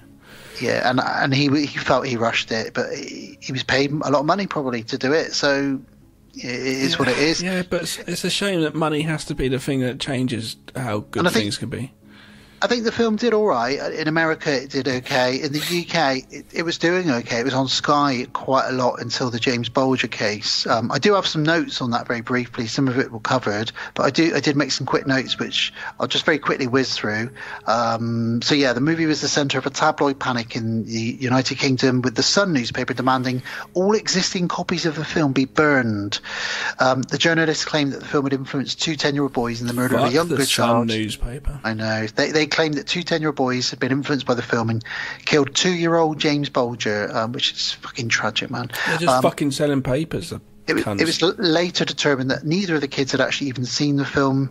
Um, and there's also a myth that the film was banned in the UK following this controversy. Uh, yeah, the B- like I thought it was. the BBFC never actually banned the film, but the widespread um, panic over the film and over the James Bulger case led to most video retailers withdrawing the title from their shelves, and Sky TV pulled the TV, pulled it from their TV channel. Um, Canal Plus did the same in Spain. Um, the movie led to legislation that enforced additional age restrictions on certain video films, um, which is quite rare in the UK. Um, and you couldn't really get this film in, again then after a while until 2000 in the UK when it was released on DVD, uh, by which time all the controversy was largely forgotten. Um, Well, that's it. It's tabloids uh, fucking rolled that up. I'm just going to give a little trigger warning for this next little note, just because there's some bits in it. Nothing too detailed, um, but the film is widely thought to have been banned, like I say, um, and the reason, some of the reasons for this were was because in 1993, James Bulger was abducted by two 10-year-old boys who took him to a ra- railway line, tortured and killed him. So people link that to what happens in the Ghost Train at the end of this. Um, uh, it was alleged that the two boys had watched the film and reenacted the violence, um, especially the paintball scene where they splash because they splashed James Bulger, bless him, with paint as well. Um, so they kind of they the Sun newspaper basically put all these things together and decided it was Child's Play 3 that was the reason for this, mm. which is insane. But the police investigated over 200 films that one of the boys' dad had in his collection. They even looked at everything he'd rented over the last couple of years, and he'd rented Child's Play 3 just a few months prior to the murder. Well, because they think the kids have watched everything that he has, so they had to check. They're just trying to figure out why 2 They're just 10-year-old trying to boys pick- would do this. yeah, but that's that's looking for something. I know. That's I know. looking and going, oh, this movie's got that. What a waste of time. the two boys hadn't even heard of Child's Play No, 3, let, let alone seen it, and actually said, We don't like horror films. So there was no, link it was there at all. It's a horrible case, and uh, I'm going to suggest you don't look into it because Yeah, I would- the, wouldn't the look into it. what they did to the kid was uh, Um, and in fact, they never found any film that was directly linked to their actions. Um, so further, you know, shitting on the whole video nasty controversy from 10 years before, you know, it, there isn't really a link. There are going to be a few links, as we'll look at in World of the Strange, but there isn't really a huge link between people watching terrible things and then wanting to reenact them. It's a tiny percentage, and those people have already got something pretty wrong with their brain. Um, so, yeah, I just wanted to mention those notes really because this film is quite, you know, it's known for that in the UK. yeah. But yeah, there we go. But Uh, that's Child's Play 3. uh, a High Strangeness podcast, which I do with Sarah, which you all know about because I said about it before. But if you do want to get into the mind of uh, serial killers and stuff, we do do that. But I would never cover that case because it's not a nice one. Yeah, I, I know people that have read the book, and I've heard snippets of stuff, but I don't I, want I, to know. I did go did. down a bit of a rabbit hole once. And the thing is, I'm especially now I'm a dad, and my children are two. And Yeah. Jamie Bulger was two. It's just too heartbreaking, really, to think about. Those kids went on to they went into prison, and one of them is now a convicted paedophile and back in prison. So Yeah, yeah, it came out. And anyway, let's not get into that. let's not get into that. So thumbs up from me, big thumbs up. In fact, it's my favourite of the franchise. You, however, even after talking to me, you are saying I'm going to have to wait. I tell you what, I'm going to have to wait until we finish all of these films before I can say, uh, you know, which is my favourite. At the moment, I'm going to go because only because I can't really remember them. I really enjoyed the original. Um, the original uh, is fantastic. uh, this movie, I'm going to give it a thumbs down. I apologise. I I only give it a thumbs up to completists. Otherwise, I don't think Bob. Skip this. Go on to Bride. fair enough. Fair That's enough. Well, there we go. I do apologise if you've got a fondness for this movie uh, and nostalgia for it and stuff. I'm looking at it 2024 really, you know, and that's my thoughts. Well, there we go. Well, talking of dolls, um, Bill Murray's just walked in with a couple of Barbie dolls under his arm. I don't know what's going on there. Where have you been? Have you been partying again with Barbie dolls? The, Oh, bar- he's- the Barbie premiere that was ages ago. No, you haven't. You haven't been there, you absolute fool. What have you been? doing? Why are you their heads chopped off? That's weird. That's really odd, isn't it? Well, Bill Murray's here, which means it's time for World of the Strange. So, it is. the strangest man in the world, Bill Murray, please lead us into World of the Strange. Hi, welcome back to World of the Strange.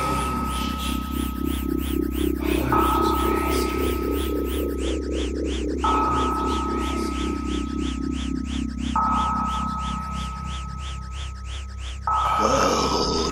of the Strange.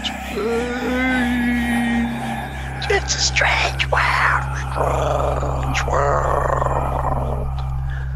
Thanks, Bill. You weirdo. Um, so, World of the Strange. Tell it as it is. Come on. Come but on, don't listen to him. He's giving the thumbs up. He knows he's weird. Look at him. He's drunk. He said he's really looking forward to Ghostbusters. That's what it is. He knows. Um, yes. so um, for this World of the Strange segment for this episode, linking in with what we just briefly chatted about with the real life incident that was trying to be pinned on the Child's Play 3 film, I thought it'd be interesting, not fun, but interesting to take a look at some horror movies that have genuinely inspired real life crimes. So this is delving into your, your other podcast world a bit, Gav, here. I do apologise for stepping on yours and Sarah's tootsies. Um, but yeah, this is real real life true crime. No, that's fine. I can I can put my true crime podcasting hat So. I'll be Sarah in this. Okay. No, don't worry, Sarah. I'm not doing anything silly, and I'm certainly not wearing a bra. Um, now, yes. so let's start with one of Gav's absolute favourites. Let's start with Scream. Scream 1996. There we go. So, in 2002, a tragic incident unfolded in France when a 17 year old secondary school student brutally stabbed a 15 year old girl 17 times. Jeez. Yeah. After being questioned by the police, he admitted he's obsessed with Scream. Oh no. Uh, his and he wanted to copy the actions he'd seen. This is what he said: actions he'd seen in the film. Uh, he wanted to influence young people in the same way that Ghostface had. Um, so people were then worried. The French authorities were worried about Scream, and they were considering banning it. Shit. Um, they didn't in the end. Uh, The trouble is with this, obviously, we're not obviously getting into it. Um, and what you need to do with all these cases, really, is to get in, in depth into their head and go back to the beginning. Uh, and obviously, we won't be doing that today. 'cause Yeah, I don't- I don't have No, no, no. But um, but so it's hard to uh, hard to know why because obviously we're like, well, what other things was this young chap doing before he did this? Do you know what I mean? What was the build up, etc., etc.? Because I don't, because I, I don't want to be an advocate. I definitely don't want to be an advocate of that horror movies cause people to kill people. But if they've got, like you say, mentally something's not correct, um, well, things could influence. I, I imagine. what I would say is these sort of incidences are never the first time someone's done something like this. As you know from your other show, and, and as we know from watching lots of true crime stuff, there's always stuff in someone's past, and then something like this. Yes, okay, it might be the first time they've really done something, but I guarantee this guy would have done uh, something to animals. animals. Yeah, exactly. And yeah, a possible head injury. that kind of stuff. Yeah. So there's your first one. Scream, naughty, naughty. Now let's talk about the Purge, the original Purge movie. There were three murders linked to this film in 2016. Not surprised, honestly, not surprised. The, you, you can imagine someone, uh, obviously the country of America, has uh, uh, guns and stuff like that, and people have access to guns, but you can imagine some people, angry people, whatever, be like, oh man, this movie's incredible. This is exactly what I'd love to do. I wish we could do that. And then the ones who are a little bit more extreme than that are like, who are going to do what you're about to say. Yeah. Well, this is in uh, Indianapolis. Um, so, a gentleman, we'll call him, called Jonathan Cruz, committed robbery and then killed three individuals on one night in 2016. And he said, I was inspired by The Purge. Which, as we all know, is uh, one night of every year where anything goes. It's Um, it's. I do like the concept of it. I've never. Uh, the movies don't do it for me. I did watch the first season of the TV show, and it kind of got into it more for me because I wanted to see the whole wide world rather than. I liked the first one, and I think the second one is that the one that's a bit of like the Punisher in it, the guy that's going around. Possibly. I can't remember, I but I, I. I think the first one is the best one. Um, Um, yeah, yeah. I, I, I, I do like the isolation, but I do like to see the whole world of what's happening outside. You know. Yeah, he also they looked at his social media activity and saw that he'd been saying, "I think the purge should be made real. I really like this idea. Maybe we should push for the government to do this for real." See, see. Um, so How many then- more people had that thought, but obviously just didn't actually go ahead? So yeah, th- these actions led to discussions about the impact of unregulated media on individuals who may have criminal tendencies. So social media as well, you know, people can air their views willy nilly, and um, it's all a bit weird. But yeah, this guy killed three people and did a house robbery just because he thought, "Wow, I'm in a movie." Yeah. Good stuff. Let's move on to uh, Freddy, Nightmare on Elm Street. What? Someone went into someone's dreams. Uh, this is something that happened in, I think, 2002, 2006. So, uh, Daniel Gonzalez, also known as the Freddy Krueger killer, had an unhealthy obsession with the original classic slasher of Nightmare on Elm Street. He boasted about committing murders inspired by Freddy. This is in London and Sussex in the United Kingdom. He attacked six people. What Uh, year? Sorry, was this? 2006. Wow. He attacked six people, uh, killing four of them. And he said, My crimes are the best things I've ever accomplished. Oh my god. He said, I'm like Freddy Krueger. He's my hero. And I wish I could be more and more like him. He said, I've got an alter ego called Zippy. now, for anyone from the United Kingdom, there was a children's television show called Rainbow, Yeah. which ha- which had um, some puppets in it. One of them was a pink gay hippopotamus called George, uh, and he had a friend called Zippy, who was like an orange blob who had a mouth with a zip on it. And whenever he got Yeah. too mouthy, they'd zip him up. So for this gentleman to have his killer alter ego as Zippy, just makes me think of that puppet. Yeah. Uh, but they held him in a psychiatric facility, uh, and eventually he As took his own life. Oh. Well, he obviously uh, wasn't enjoying the world No. with his head. Indeed. So- he may now be living on in, in other people's nightmares and dreams if he want, really wants to be like his hero, Freddy. Did- did- did- sorry, d- I missed this. Did he actually kill anyone? Yeah, he attacked six people, killed four of them. Right. So, uh, what was his method? It doesn't actually say. Um, I think he used razor blades and knives, but it, he didn't. I don't think he it would have said if he called himself the Freddy Krueger killer. oh, Um, fuck's sake! When when these cunts kill them, give themselves fucking monikers. I'm the Zodiac. Fuck off. I'm Zippy. Yeah. Yeah. Now Zippy. Zip it. There we go. Right, moving on then to Child's Play from 1988. Now, this isn't the one that we- we've already talked about. There is another incident that's linked to this. I don't know if you know about this. Have you heard about this second incident? No. What for the original?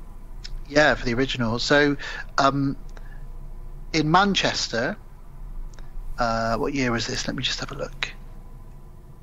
This was so. This is Manchester in England, of course. Uh, i this was in 1992, so four years after the movie came out. Yeah.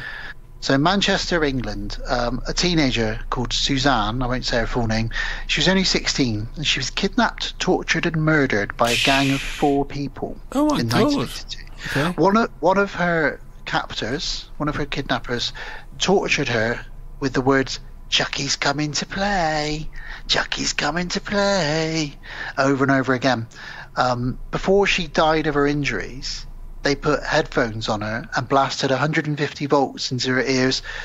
The line "Hi, I'm Chucky. Wanna play?" over and over and over again Really? at maximum volume. How do they know that sh- they said this to her? Uh, because th- because they've all admitted to it, and they found the headphones with the tape, you know, afterwards. So at maximum volume, they played that into her ears while they tortured her. Um, they were inspired by uh, snuff and true crime films. They had a stash of snuff films. No, they didn't. There's never been. There's never ever been. Uh, uh, uh, you know, a stuff A real film. one. Yeah. A real one, Uh, yeah. obviously, there is videos on the internet. You could pro- probably. I imagine you. The, I've seen I videos. imagine you could see something, but there wasn't ever like snuff videos, especially videos. And you know, you know, I've seen I've seen one, a real one, um, an, an infamous one, uh, um, of a guy. I'm sure I can't remember his name now. It's quite a famous case of a guy who lured another guy back to his apartment, and then basically chopped him up, filmed it all, and did stuff with the hands and stuff like that. And I was watching it, thinking this can't be real. I was watching it because I couldn't think, I didn't think it was real, but it's actually been confirmed as real, and it's on the internet somewhere. You can find it. It's really not not nice. Um, but yes, so they had a big collection of true crime films, what they could, what they thought were snuff films, and they said they were really inspired by video nasties, slashers, and they loved Child's Play, the original Child's Play film. that's not good for the horror community. So this poor girl had the last, her last words were Brad Dourif over and over again at full volume in her ears. I wonder how, that, how Brad Dourif feels about that. Yeah, not great, I should imagine. No. But he still made a bunch of these movies, so that's fine. Fucking great. Let's talk about Saw. We've covered Saw in our torture porn special. I want to play a game.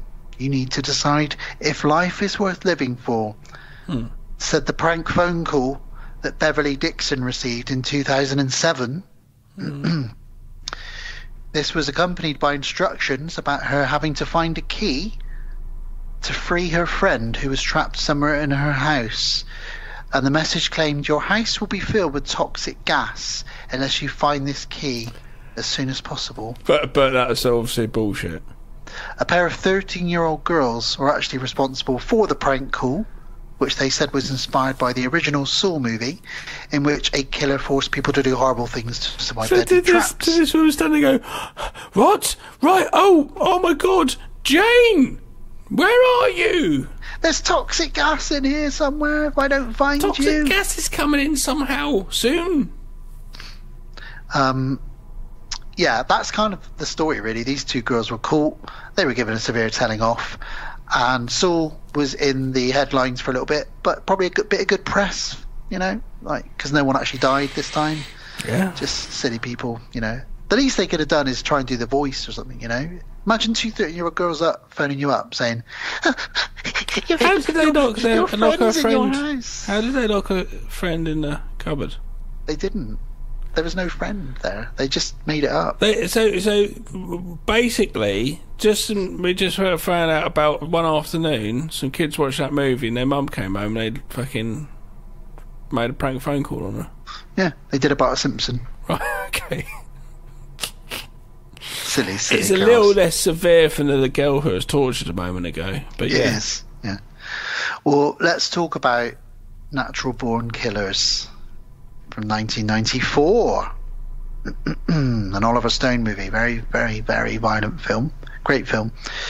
Yeah. So, even worse than the real life crime spree that inspired Natural Born Killers, because obviously it was based on a, a real life crime spree, the movie then in turn became the inspiration for school shootings in the late 90s. Oh no. This includes the Frontier Middle School shooting in 1996, in which a 14 year old opened fire on his whole classroom, killing two students and their teacher.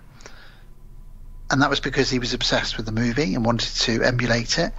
Natural Born Killers has also been directly linked to the Columbine High School shooting, in which two students shot and killed their teacher and 12 classmates. Horrendous.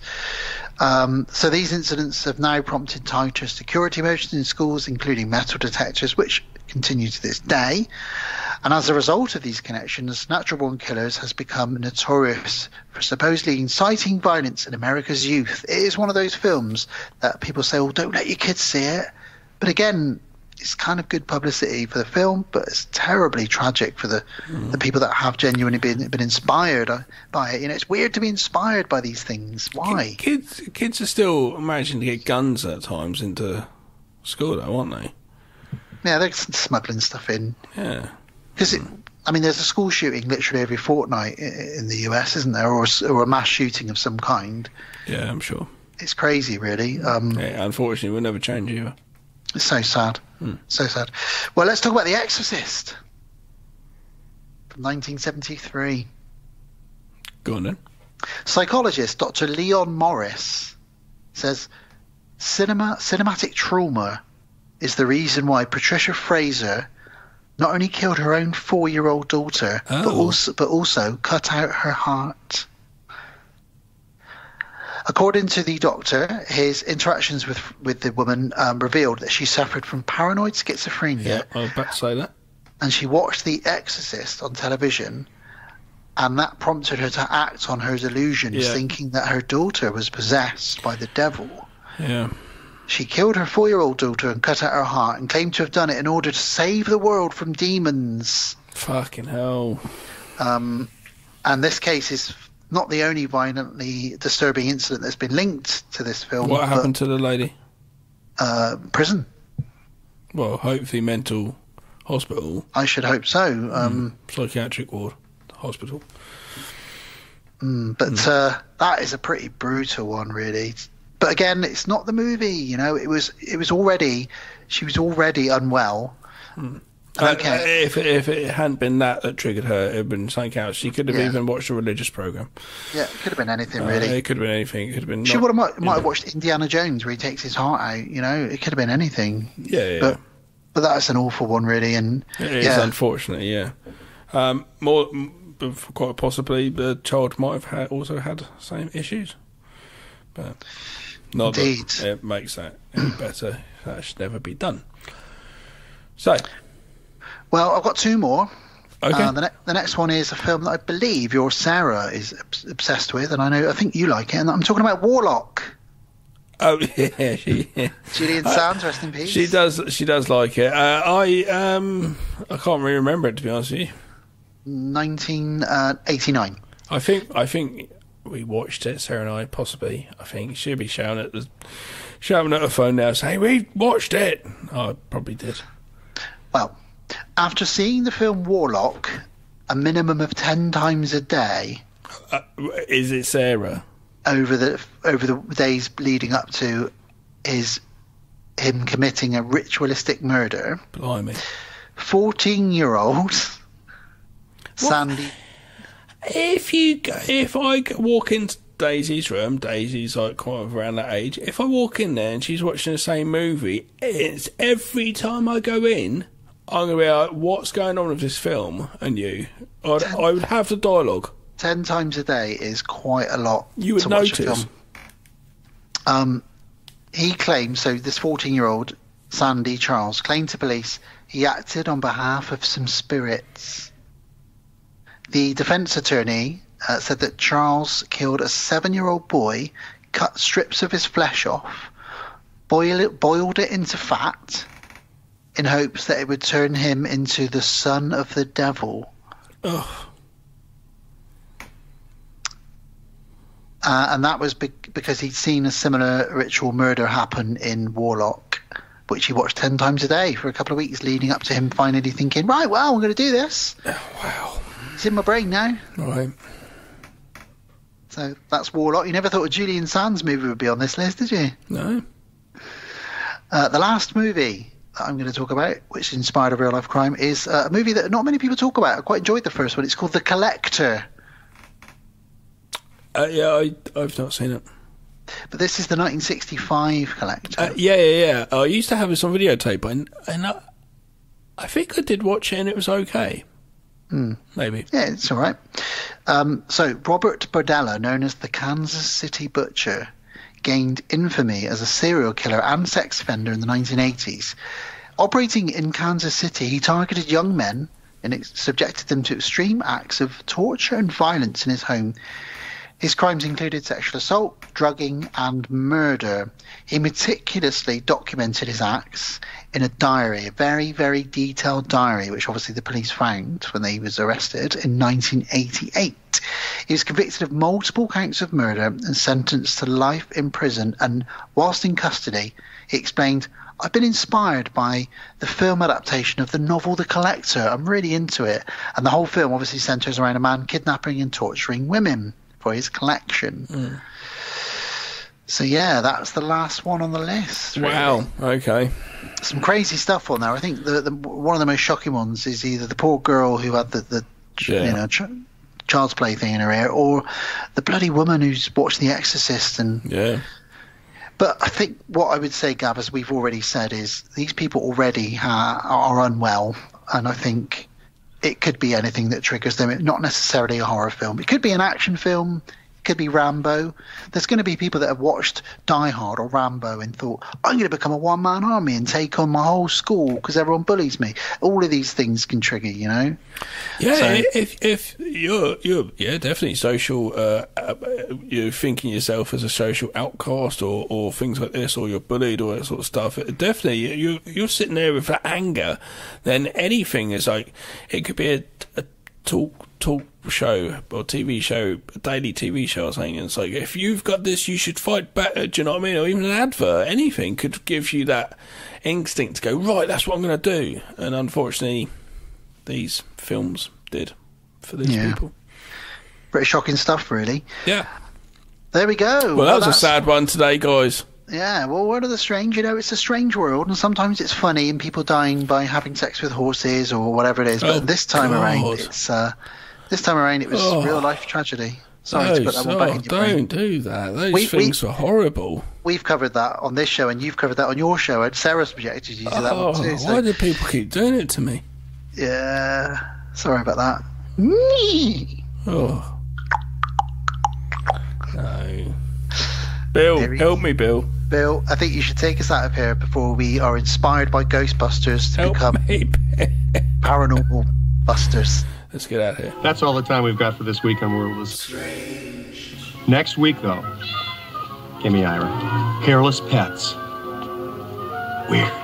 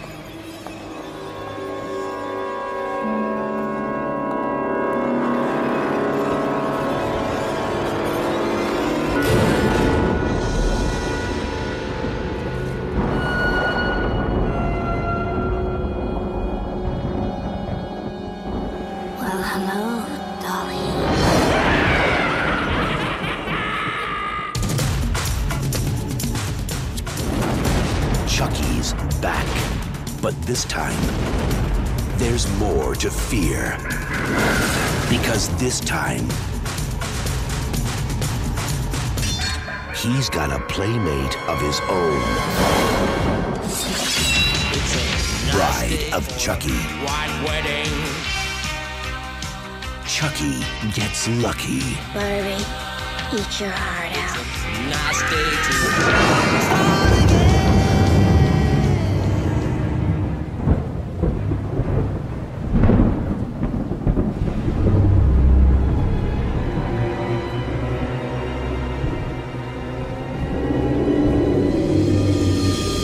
Bride of Chucky 1998. 18 hour and 29 minutes, but different if you're streaming it or on DVD. Ridiculous, the DVD's slower. Anyway, Chucky, the doll possessed by a serial killer, discovers the perfect mate to kill and revive into the body of another doll.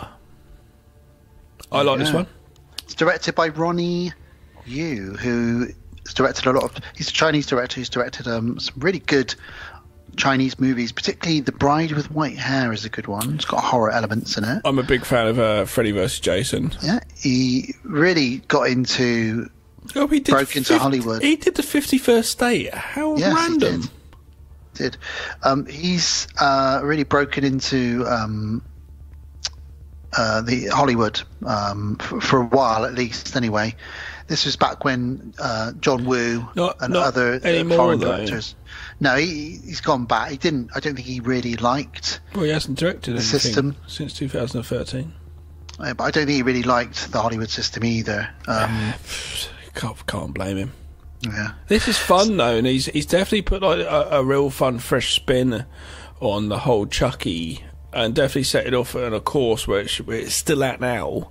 And it go and he did the same with Freddy versus Jason because there were times where that Yeah, he made that fresh again. Both of them really for doing that whole thing. Yeah, uh, you know, and it's a bit cartoony, but but fun and still very gory at times. You know, this film is very um, meta and self-referential, but also refers to a lot of other horror movies as well. Um, and you really feel like it's found its this franchise has really found its feet on this one, don't you? Uh, yeah, the, like Chucky has a moment and he says like, yeah, but I, I can't remember what he says exactly, but he's saying sometimes it has to take part three or part four to actually get it right and start it again or whatever. No, he says um, if this was a if this was a movie franchise, it'd take a good two or three um, episodes before we got to this. No, he says a third or f- three or four, I think says, and it, obviously this is the fourth movie. At some point, um, Jennifer Tilly also says to him, "You know, stabbing with a knife. That's so 1980s." So there's just loads of stuff in it. And somebody looks at the Chucky doll and says, "Oh my God, these things were big in the 80s. No one cares about them now. Ugh, it's not 1988 anymore, and all that kind of stuff." So yeah, there's some some interesting stuff in there. But I, I do like the fact that Chucky calls out, uh, you know, you have to start fresh again, and his class and sort of part four, the one they're actually in, is the start again. and um, there's some stoner humor in this, which we'll get to as well. And again, like you said in our intro to this episode, this came out in the middle of Scream and all those movies that were coming out in the late 90s, and you can really feel that vibe. There's a bit of a polish to them. Um, there's a young, hot teenage cast. Um, and yeah, that stoner comedy and, and Marilyn Manson and Rob Zombie soundtrack. A lot of stuff to like about this Uh, one. And written by Don Mancini again, so like Yeah. um, interesting. But he would have been, and you know what it's like. He, he, if uh, any of the major sort of films are made by studios, it's just the way it is. And you're going to have them looking at numbers and looking at what's cool and what's not, and saying like incorporate this and incorporate this. But sometimes these things work well with the right people in the right hands. And this Yeah. director and writer of Combos sort of done that and made this a, a real fun movie. Obviously, it's a, quite a few more years later from the last one, so the styling of the, the film's a lot more more modern, should we say, now if we're looking at it, where the other one felt a lot more almost 80s, like I said, you know. And what's fantastic is this is the introduction of a, new character to the franchise, really, other Indeed. than Andy Barclay. Yeah. Um, Jennifer Tilly plays And- Tiffany.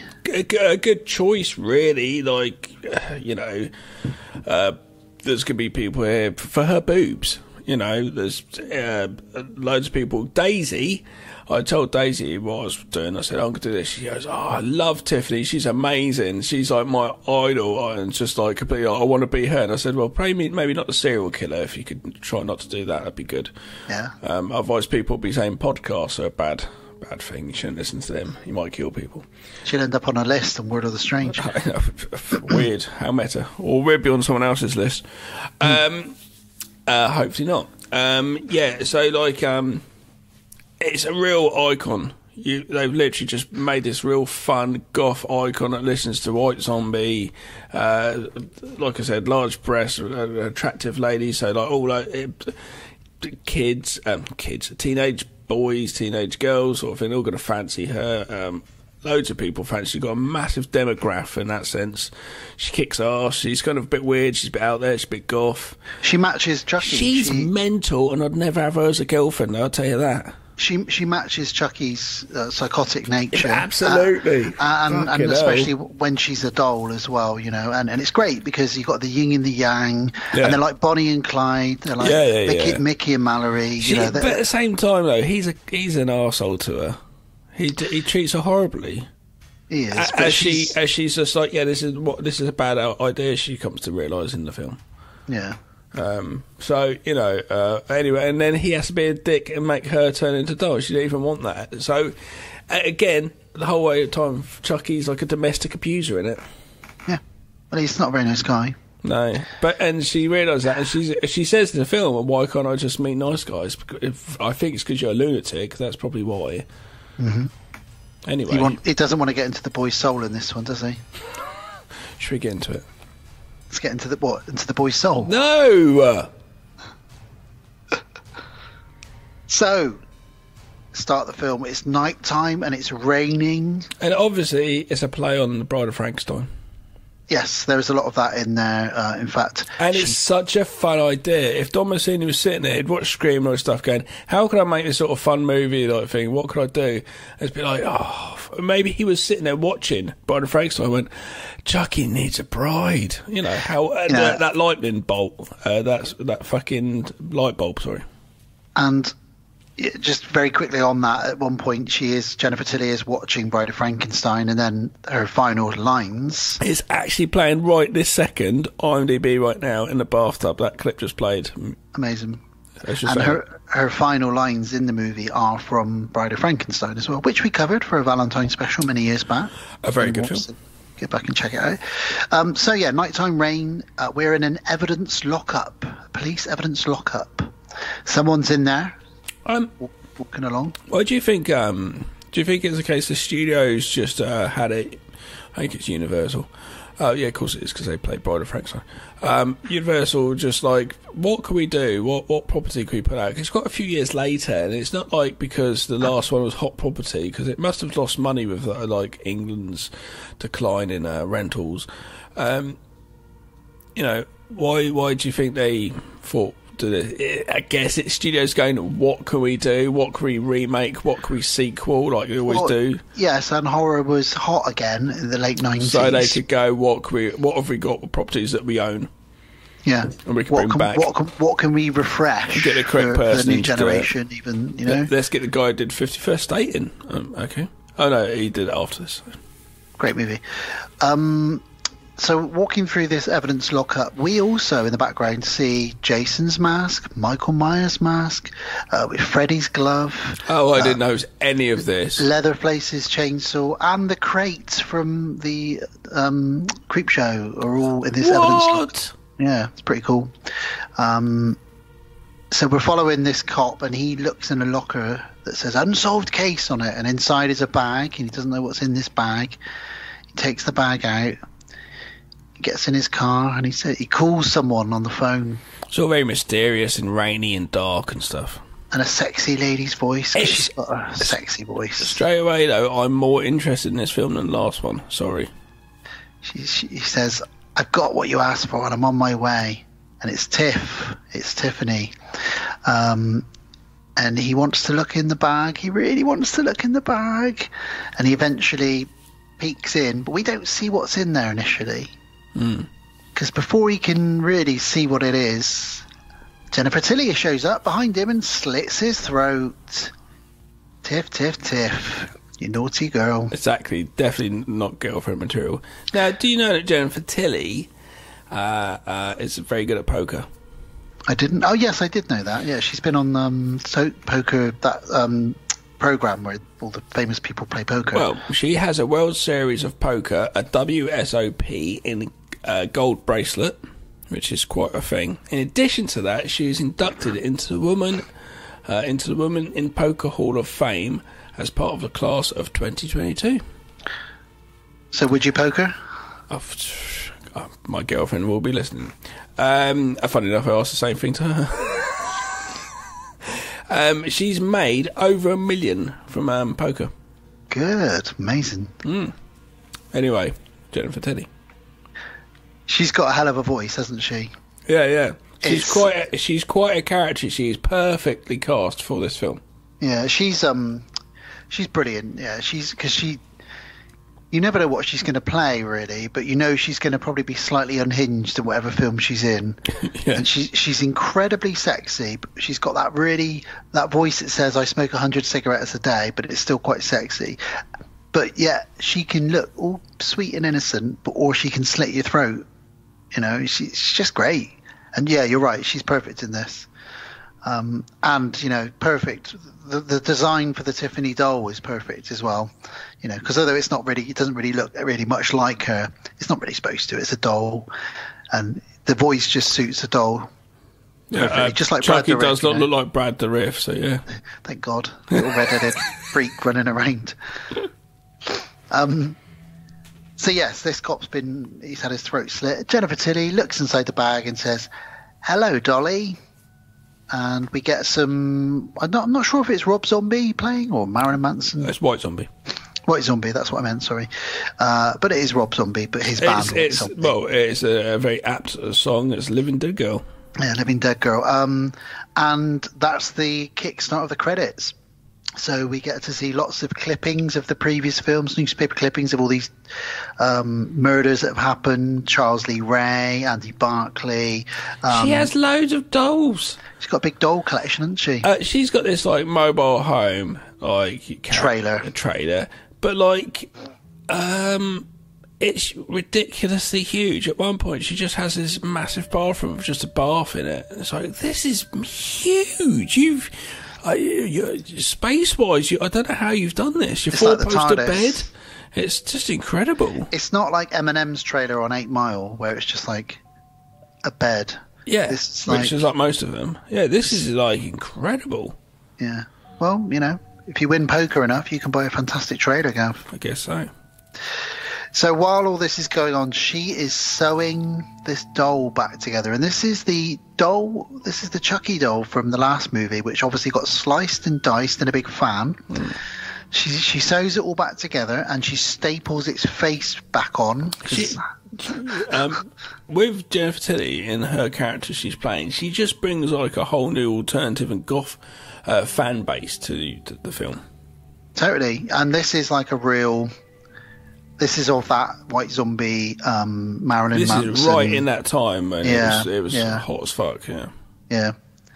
Um, so yeah, she's basically staples the doll space back on, sews it all back together, and and there we go. That's what that's the deal. Then knock on the door. It's, it's Sarah it's, hated this guy. so this is Alexis Arquette, and and his I tattoos. Better, I mean, he he was a them. He was a he then. Right. But, you know, go. I believe. I don't think he's a they them now. I think he's a, sh- a she now. Really? Um, yeah, Alexis Arquette now. Um, but yeah, it really wants to be Marilyn Manson, this boyfriend of hers, Damien. His tattoos, oh, oh my god. Yeah, and he's got all the piercings, you know, and he's really into the whole goth stuff. And he sort of shows up her trailer, and he's oh hi. Um, but we'll see more of him in a minute because we just very quickly meet our young, sexy goodies in this film. Um, John, and, and I'm not talking about uh, John Ritter, who is, is in this as Chief Warren. So John Ritter is the uncle in this to Jade. Uh, he looks after Jade, and Jade's got a boyfriend called David. Uh, sorry, not David, Jesse. Uh, and they have a gay friend called David who they hang out with. And Warren, uh, He's, John he's the beard, isn't he? Yes, he is because he knocks on the door and says, "I'm here to take her out," and he's like, mm, "I don't believe you," and it's because she's actually banging Jesse, who's like the stud who lives in a trailer next door to Jennifer Tilly. We find out. This is the woman that uh, Seth Rogen knocks up. Uh, Katherine Heigl, yes, it It is, knocked yeah. up. Yeah, indeed. Hence saying that way. There we go. Um, um, uh, basically, she it's not it's her his stepdaughter niece. Yeah. He fucking hates her. He will do anything like a sad little shit he is, chief of police as well. Surely you should be doing other stuff. He hates her so much. He won't let her do anything. Yet he doesn't want to like do anything nice for her either. He's a real tackleberry when it comes to the law. Tackleberry, Tackleberry's a nice person. He's a I fucking. suppose. He's a uh, what's the chief? Police Academy. Um, Mauser. Yeah, Mauser or um, Harris. Oh, that's Captain Harris, actually, isn't it? Yeah. But he's like Captain Harris. He's like more like Captain Harris. Baghdad. Um, fucking great film. We should do the Police Academy movies. I'd do those. It would you. be funny just to do them for the fuck of it. Because the talk would be funny. Um, we used to shout that all the time at school, Proctor. Um, yeah, so anyway, we established that he is overprotective, to say the least. He's the chief of police. He's got all the But police he doesn't in actually care about her, though. That's the weird thing. He just doesn't want her to date anyone He and or do he- anything well, or have he- any fun. Yeah, he just wants to be in control. Indeed. And they drive off and they get immediately pulled over by one of his cronies, who then makes them stand out in the rain and questions what they're doing, etc. Breathalyzes them. Anyway, we'll come back to that in a minute because uh, Tiffany's in her trailer and she's got this pen- pentagram on the floor that she's In created a out massive kitchen. yeah, in her giant kitchen in her tiny trailer. Um, and she starts chanting the ritual, you know, give me the power I beg of you by the power of Grey Grayskull. Um, nothing happens. There's no, or she thinks nothing happens. Oh, damn it. I tried to get Charles, Charles back in this doll, but nothing. I like the fact that she has a dinner table set for two, all neat out. Like Chucky's gonna come out and go, hmm, what's for dinner? And a little doll's gonna sit there and just have a dinner. How are you? I'm all right. How are you? All right. Oh, what a day today! Really? Yeah. Is that gonna happen?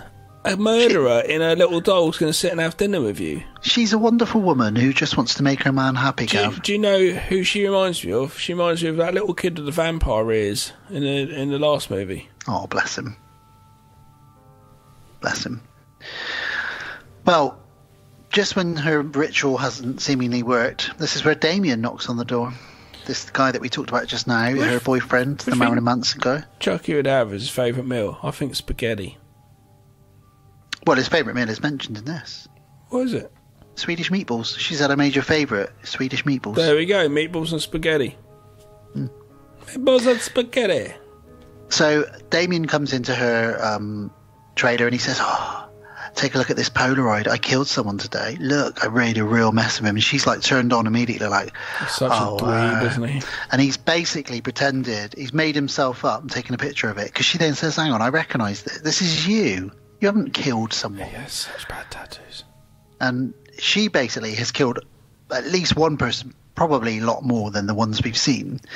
And he's trying to get into her knickers. So he's pretending he's killed someone just because it turns out they've never actually slept together. Because he says, When are you going to, you know, when are we going to finally, you know? And she says, Right, okay, well, here's what we'll do. And then just before she can say anything, she realizes the doll's missing. Yeah. And she gets a bit excited. She thinks, "Oh my god, it's worked!" So she she handcuffs Damien to the bed. She Uh, says, Do you want to play a game? Yeah, she ties him up, handcuffs him to the bed, and she starts doing a little sexy dance for him. Chucky, but she's plonked Chucky sitting on his uh, chest, so they're both looking forward, and Yeah. Chucky's watching the dance as well. He says to her, "I remember these things. They're they're so eighties though. But if it turns you on, then I'm into it." And she's like, yeah, all right. Well, now check out my sexy dance. So she does her sexy dance, and she says, "There's something I've never told you about me." Charles Lee Ray was my ex-boyfriend. I used to live with him, and we were going to get married. And um, basically, he says, "Oh yeah, I heard about that guy. Um, didn't he transport his soul into a doll and all that bullshit? It's an urban legend." And this is where the head spins round and says, uh, she, "He says to her, this guy couldn't satisfy you."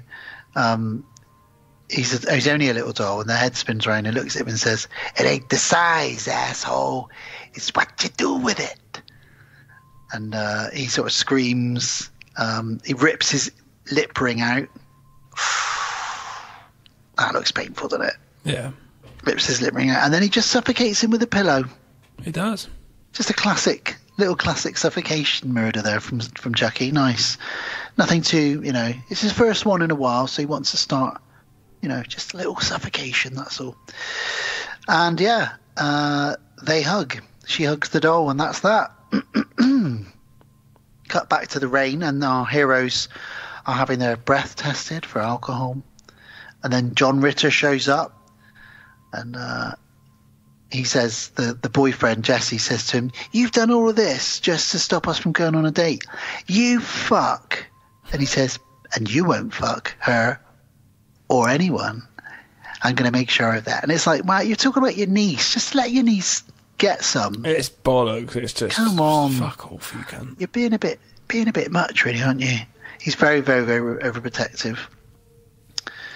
Um, and he says, they say to him, if we wanted to, we could make your your blood tests look like Christian Slater on New Year's Eve. This must have been a thing of a time, I'm sure. Uh, uh, At the time, that must have been in the news. Dude, Google it. Christian Slater was a big, big fan of the white marching powder. Yeah, I, I, think I knew that, but like, what what happened on New Year's Eve? Are they just saying like it? Uh, just he would be more partied out on New Year's Eve? Oh, that's the, the night that you'd want to be out with Chris. Imagine being out with Christian Slater and Nicolas Cage on New Year's Eve in like in like ninety one. That would be amazing. Making a scene, Those two walking into a bar together. wasted. Amazing stuff. Bill Murray's in there playing darts. There must have been. There's going to be a moment in time, in a place in time. At one point, there's just all of a sudden the, the most random amount of celebrities ever. For they didn't even know why, and it all just appeared to be in the same place somewhere on the world. Somewhere, do you know what I mean? There'd just be like there, there would have been. There just would have been one time, and it's just like, oh, there's seventeen different actors and stuff from around the world. What or celebrities or just what the fuck's going on? Not a normal party, but a, a situation arose or something. Do you know Because I you, mean? you sometimes see like photographs Yeah, from, of like, randomest people. of like four people that you're like, why are they in a room together? yeah, that's the weirdest A team ever. I love it. I love it when you see that though. You know, Hmm. you just think, well, I don't know how they would have got in that situation where they're all they're all together, but they posed for a photo and it's documented, and I love them for that. I don't know how we got into this, but anyway. We're talking about Christian Slater and Uzi. Oh, right. So cutting back to Tiff, and she says, "I've made your favourite Swedish meatballs, Gav. You guessed it." Yeah. And then she says, um, "You know, I found the ring after you died." And he's like, "What ring?" You know, the ring, the ring that you were going to use to propose to me. And he goes, "Oh no, that belonged to Veronica, the the broad that I killed. Oh, I'm glad you still got it. It's worth about six thousand dollars. I wasn't going to propose to you." He laughs at her. And he laughs at her. And she- I think he calls her a dumb broad or something. She starts to realise her decisions and her actions are not the best thing to try and bring back a killer, serial killer, and a doll back to life. She she says, "You I haven't could changed." I could have. She could ask me, and I could have saved her a load of time and effort. Said, But don't, she- don't do it. But she did suspect this was going to happen because she says, "You've changed. You you haven't changed a bit." Is that why she's got the crate? Yeah. So she locks him in a playpen, locks it so It's he a, can't cra- it's a crate, pretty much. Yeah. and all it's got in it is some like kids' toys. And she basically says, "You're so tiny, like a little baby." And then she locks him in there, and basically she's going to torture him. with tickles it. him, doesn't she? Yeah. Yeah. And he's really annoyed because you know he's he's the size of a child. He can't do anything about it. At the moment until he gets out. Um, and then she goes off and has a good old cry in the, the bed next to the dead body, which I love. Just the dead body's just there. And she even takes the pillow off of his face and then uses it to sort of lie lie on and cry a little bit. It's pretty weird. Yeah, it's it's good definitely not girlfriend material. in the morning, uh, Jesse, who lives next door to her, who is uh, Jade's boyfriend from the night before, he sees her on uh, in the trailer park, and she's packing. She's got a huge trunk that she can't move, and he's a bit of a hunk. This one, anyway, he's got some muscles on she him. saw him topless the other day, and she's quite fancy there. And it's when um, I could do get a moment when, like I said, where Chucky says, "Where the fuck are you, Tiffany?" Yeah. So he helps her with the trunk, which has actually got Damien's body inside it, and he puts it in the car for her. Uh, she says, "Oh, thank you. I really appreciate that. Would you like to go for a drink sometime?" And he's like, "Oh, I've got a girlfriend called Jade." He is a fucking loyal guy. Because if Jennifer Tilly asked you to go for a drink, I don't know, man. Well, Alice is generally quite jealous of you and any woman. So, like, that's if I'm if Jennifer Tilly's coming to Bristol, watch out, Alice. Oh, I, I wouldn't. It wouldn't be worth it. i my balls would be destroyed. would. Alice, Alice would be wearing them as earrings. She um, would. And t- she would have murdered Jennifer Tilly as well. Yeah, I can't even talk to a woman sometimes. No. Yeah, but there we go. You know what? You know what she's like sometimes. Yeah, it's a bit weird. It's fine. I like that she's so uh, protective of me. Imagine if I was like a really super good looking guy like Ryan Reynolds as well. She'd be even worse. She'd be she'd be committing murder. She'd probably need medicine to help. I'm glad she doesn't listen to the show much. Sometimes she does. Love you, babe. One day she'll go back through them. Yeah, so we while he's helping her, yes, you're right. We hear Chucky shout, "Where the fuck are you, Tiffany?" And she has to sort of just cover up. Oh, don't worry about it. You know, it's nothing. It's nothing. And then he's playing with a speak and spell. I laughed says- at his letter block saying "Kill Tiffany slowly." I thought that was Yeah, kill Tiffany slowly on his blocks, and then on the speak and spell says spell woman, and he types in B I T C H. That is not correct, and he's like, "Shows what you know, pal." It's like a bit, but it's fine. It's Chucky. He's a he's a dick, so that's fine. She gives him a. Do- I brought you a present, Chucky. I brought you someone to play with, and he gives her. She gives him, sorry, a doll in a wedding dress. A bride doll. She, he could use this as a blow-up doll, like a sex doll, couldn't he? Well, I was thinking that. I was thinking the first time I saw this. I thought that as well. The first time I saw I this, said I was it to Sarah. Said he could use that as a sex toy, couldn't he? Because he says later on, we're anatomically correct after all. Yeah, so uh, he could have he could have done it anyway. He probably did. But she's made the mistake of putting the ring uh, with a big sharp diamond on it around the doll's neck. Yeah. And says, You two should get married. And he says, You are so dead. And she goes off to have possibly one of the best scenes in the film. Jennifer Tilly has a lovely bubble bath. She does. And watching a little bit of Murder She Wrote first of all, which She is does, great. yeah. Fantastic. And then Bride I'd want to be in that bath with her, watching those two things in a row, drinking some wine with her, and she's even crying. Isn't I'm going to tell Alice to listen to the show. At the end of um, Bride of Frankenstein, she's sort of crying a bit when he says, "We belong dead." Yeah, Bride of Frankenstein's amazing. It is amazing. Um, and then she sees some TV reports about a body has been found in a trunk, and it's Damien, and she just doesn't really care because that was her, and she doesn't really care really. But we see see Chucky walking along. Uh, he breaks out the box with a knife, and it looks really good. He well, no, he uses an, um, the, the diamond to saw through the bars, the diamond ring. Yeah, then he gets a knife, doesn't he? Then he gets the knife, and he he s- brings a, a surprise attack on her in the bath. She screams. He knocks the TV into the bath, and she is fried, fried in the bathtub. The old classic toaster in the bathtub, TV in the bathtub, and then he chants, and he's play, he's getting her back in because he does the such a- whole he's such a wanker. he does the whole give me the power I beg of you, and he transfers her soul into the doll. So he can do that to anyone. I guess so. So why can't he do this more often? I don't know. So it's just I'm, I'm breaking the logic of it and while we're doing these Child's Play movies. Well, she's pissed off because she wakes up and she's a doll, as you would be. And uh, he says, "Well, look at me. I got the body of GI Joe." He's not, you know, he's like, "You- "You're the same as me now. We're on an even keel." And she's very, very angry. She punches him. yeah, she punches him, and So she, in it, then it's basically an excuse for him to have someone else that's like needs to get the amulet to get himself back out. yeah, because the only way that you can transfer the soul back out, So he knows that It's with the amulet. she's going to help him. uh, but the amulet has been buried with Charles Lee Ray's actual body in a cemetery far away.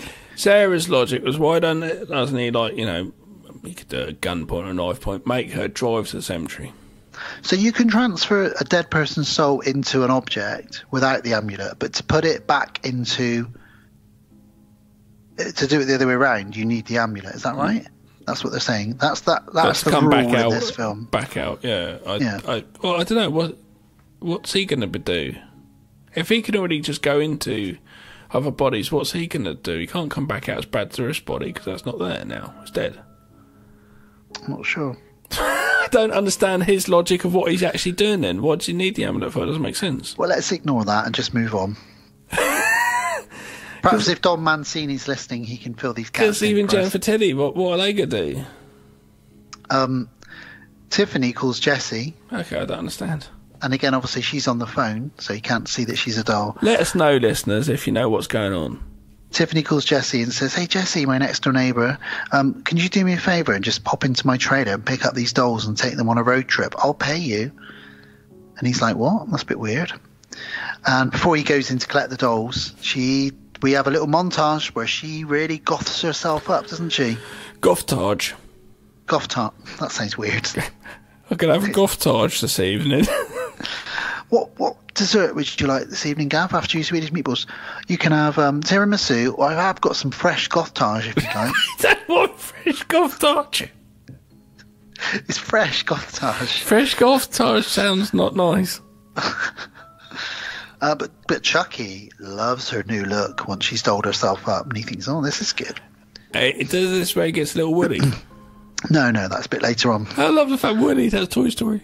He says to her, that's when he says to her later on, "I'm starting to feel a little like Pinocchio over here, if you know what I'm saying." Can we now, please, Universal, watch a movie where Toy Stories uh, uh, uh, Woody teams up with Chucky and they go on madcap adventures where Woody's just trying to say, "Stop killing them!" Or, oh, They're after the wrong Andy. no, They switched Andys. Wo- Woody's a sheriff. He's after Chucky.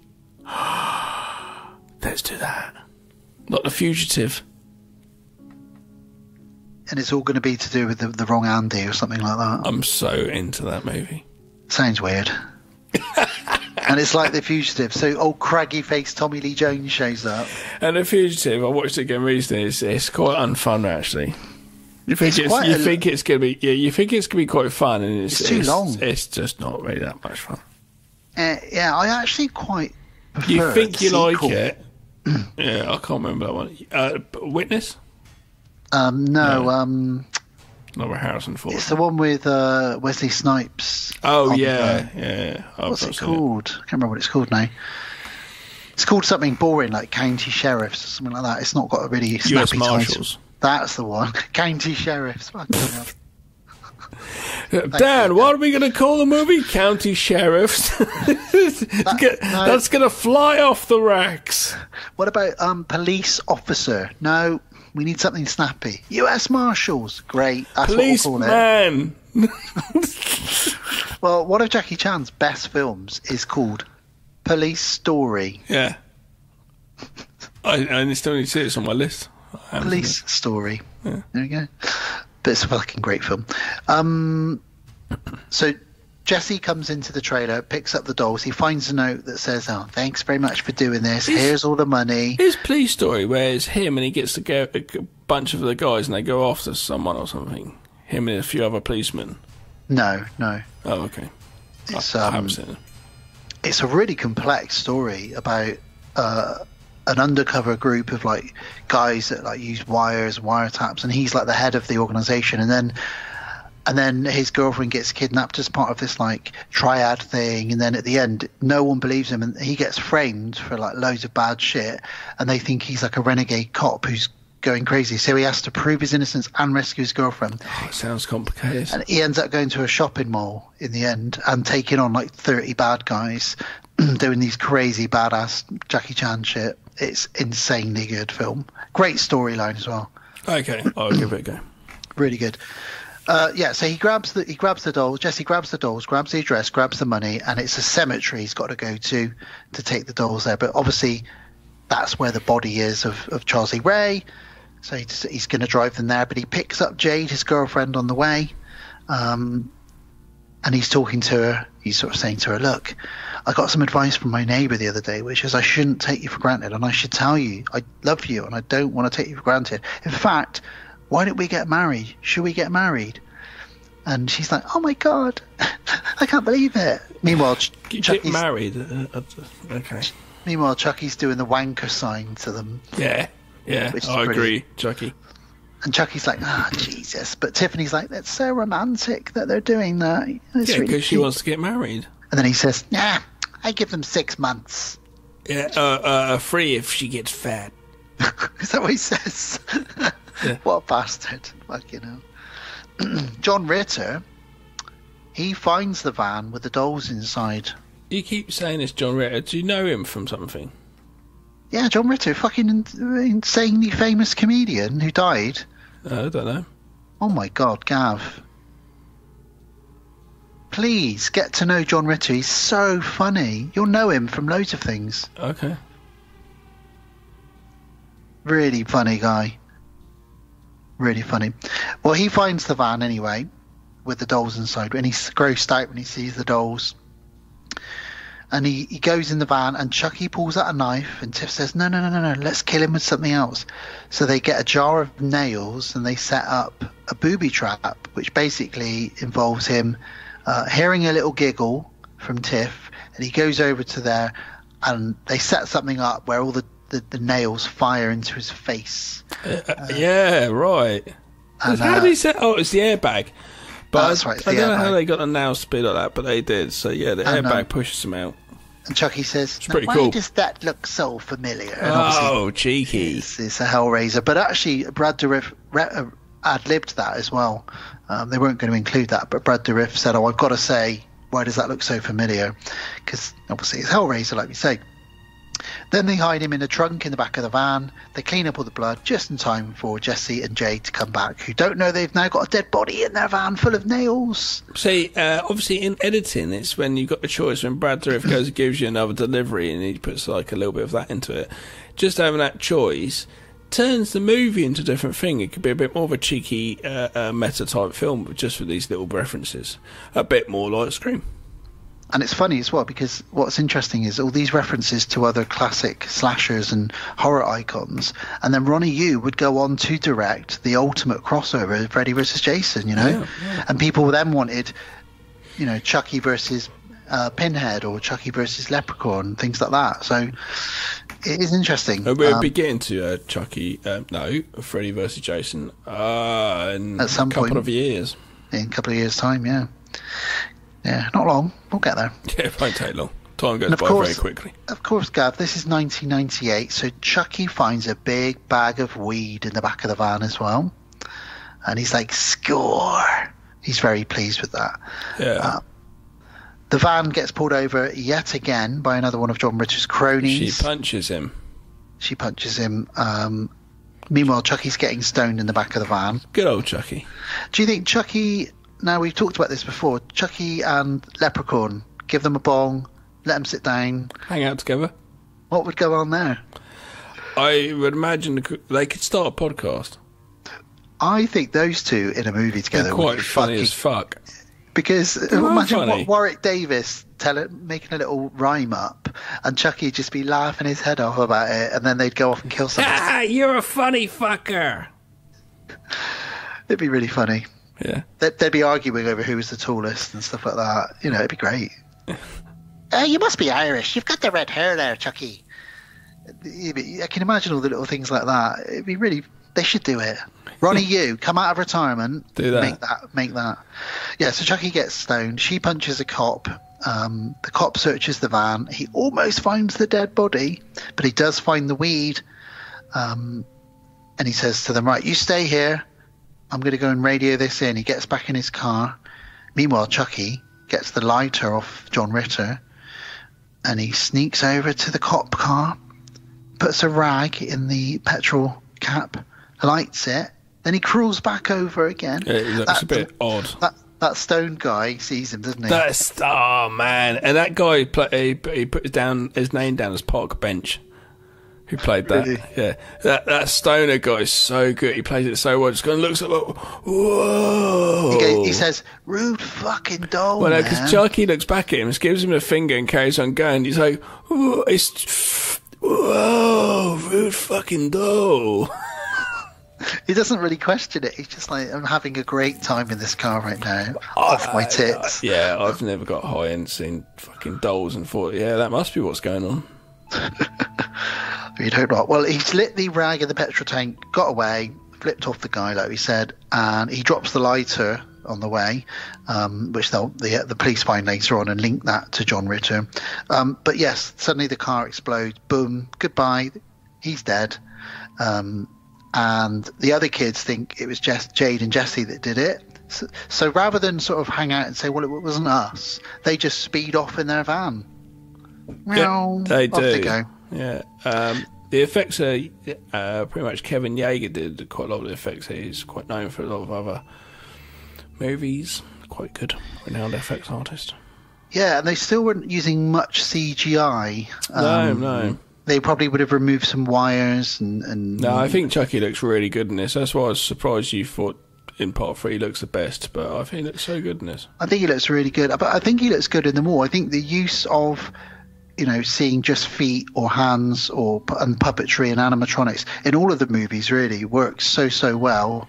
Um, it's very clever. And uh, again, if if you use something in small amounts and and you know less is always more, as we say, it just looks great. Looks great. Um, I hope Tom Holland always gets a a um, bit of a, a check in the old post.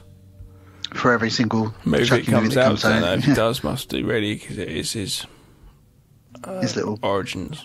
brainchild. Um, so yes, they speed off and they do argue.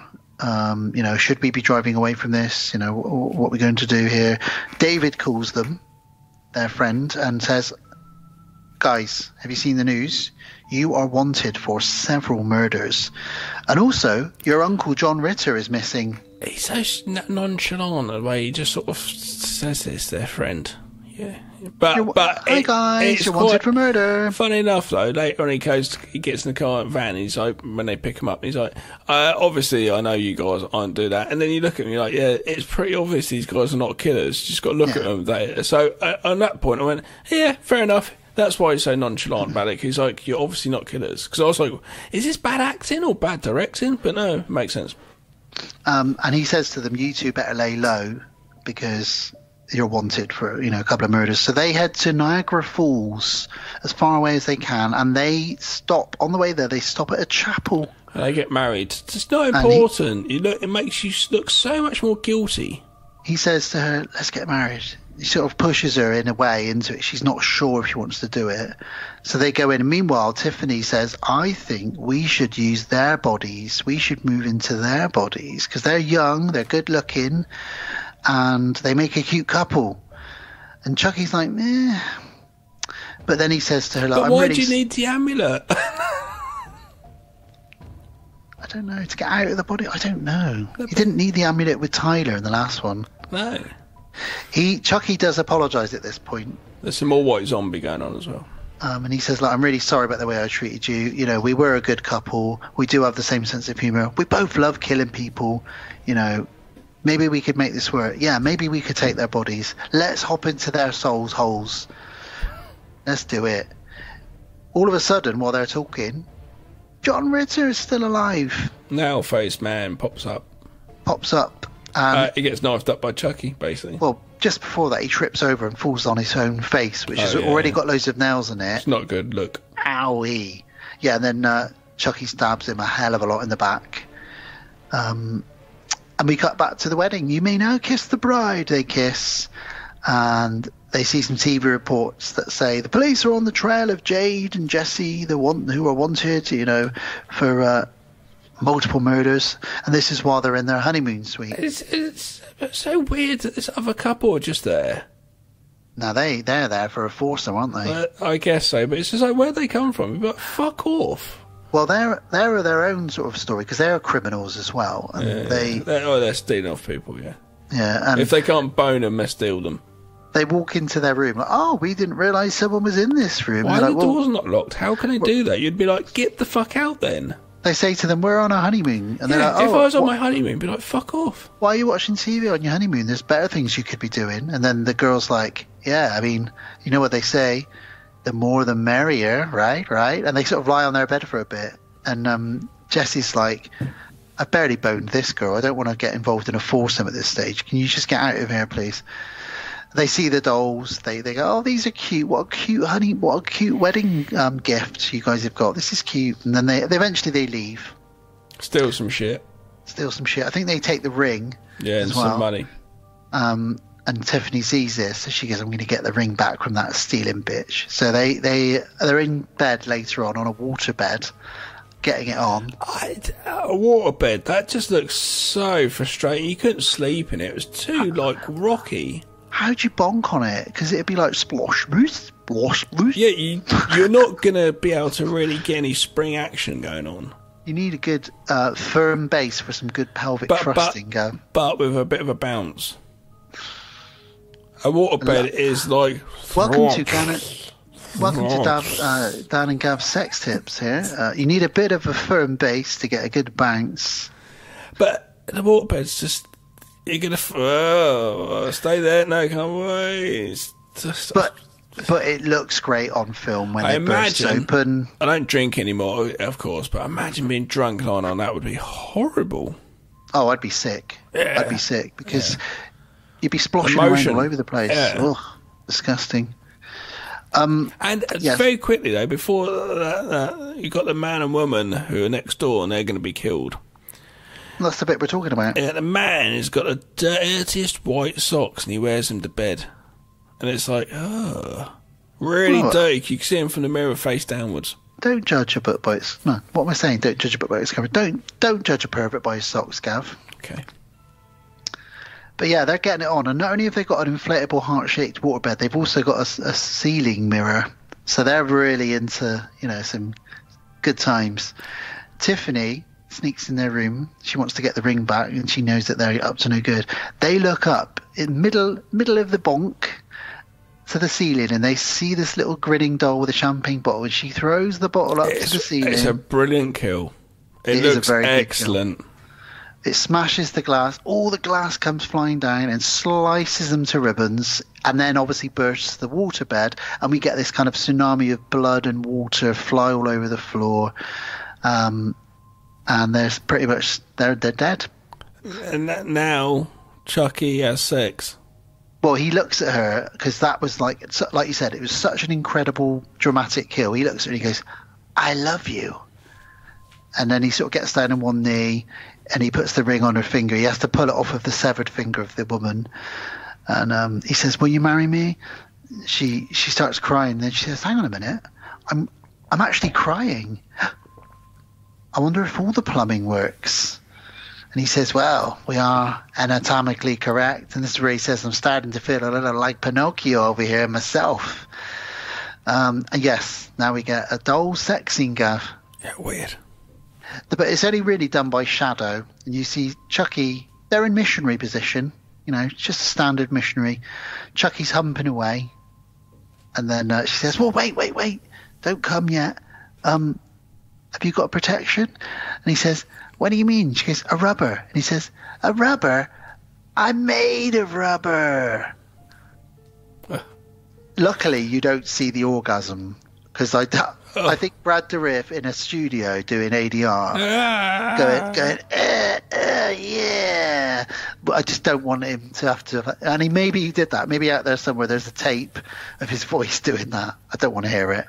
I love you, Brad, but no. But it's funny, and it's it's really all designed just to get to the joke of what do you mean? Do I need a rubber? I am rubber. It's funny, it works, it's silly. This film is all of those things. It works, it's silly, but we're having a lot of fun with it. Um, Jesse calls David. Um, he's panicked. He says, Look, I've just got married, but I think, sorry, uh, yeah, but he says, I think Jade is a serial killer. Meanwhile, on the other line, Jade is also speaking to David, saying, I think Jesse is a serial killer.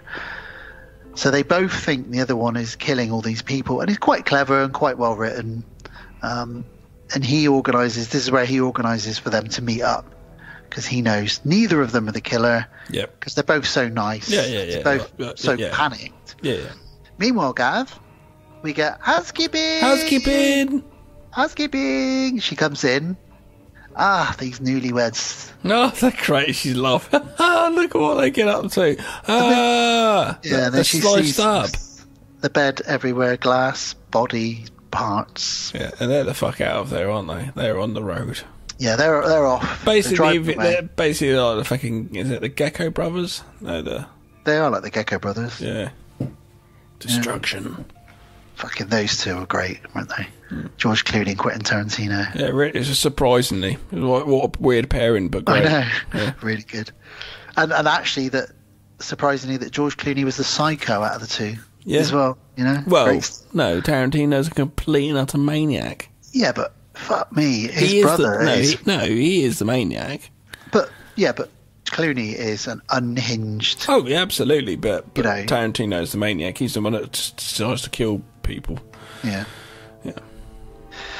Uh, so they drive off as soon as they can. They argue about who the killer is. This is where David says, "You're both wrong. It's neither of you." Da da da da da. Then David himself starts questioning whether they are the killer because he then goes in the back of the van, and finds John Richter's body. Yeah, so he takes the gun out, like, what the fuck? He tries to keep it quiet, and it's quite a fun. I wish, actually, they'd have played on this for longer. Close ups on his face of him Yeah. going, "Oh." Because he immediately turns around and pulls the gun on them. I wanted Uh, them no, to drive jumps for a bit back. She jumps back to give him a cuddle, and he goes, "Stay away from me!" But they, it was too forced. Why would she jump back in a van to cuddle him? She'd be like, "Yeah, thanks for that. All right, let's keep going." Um, and it's it must have been a way just to push it forward, but it's like they should really played on that, like him being paranoid. They could have kept that going for until they got to the cemetery or something. Well, he tells them to pull over, so they do. But the dolls also have guns at this point. Yeah, where did they get guns from? I, I can't remember where they got Right, guns from, really. So they. Um, and then we get a bit of a, a bit of a crap CGI death here now. Sadly, um, not as good as the Final Destination hit. He steps in. Da- David steps out of the truck. it's very then- easy to do those in editing. It's All we see is a CGI splatter as the not truck hard at hits all. David. Yeah.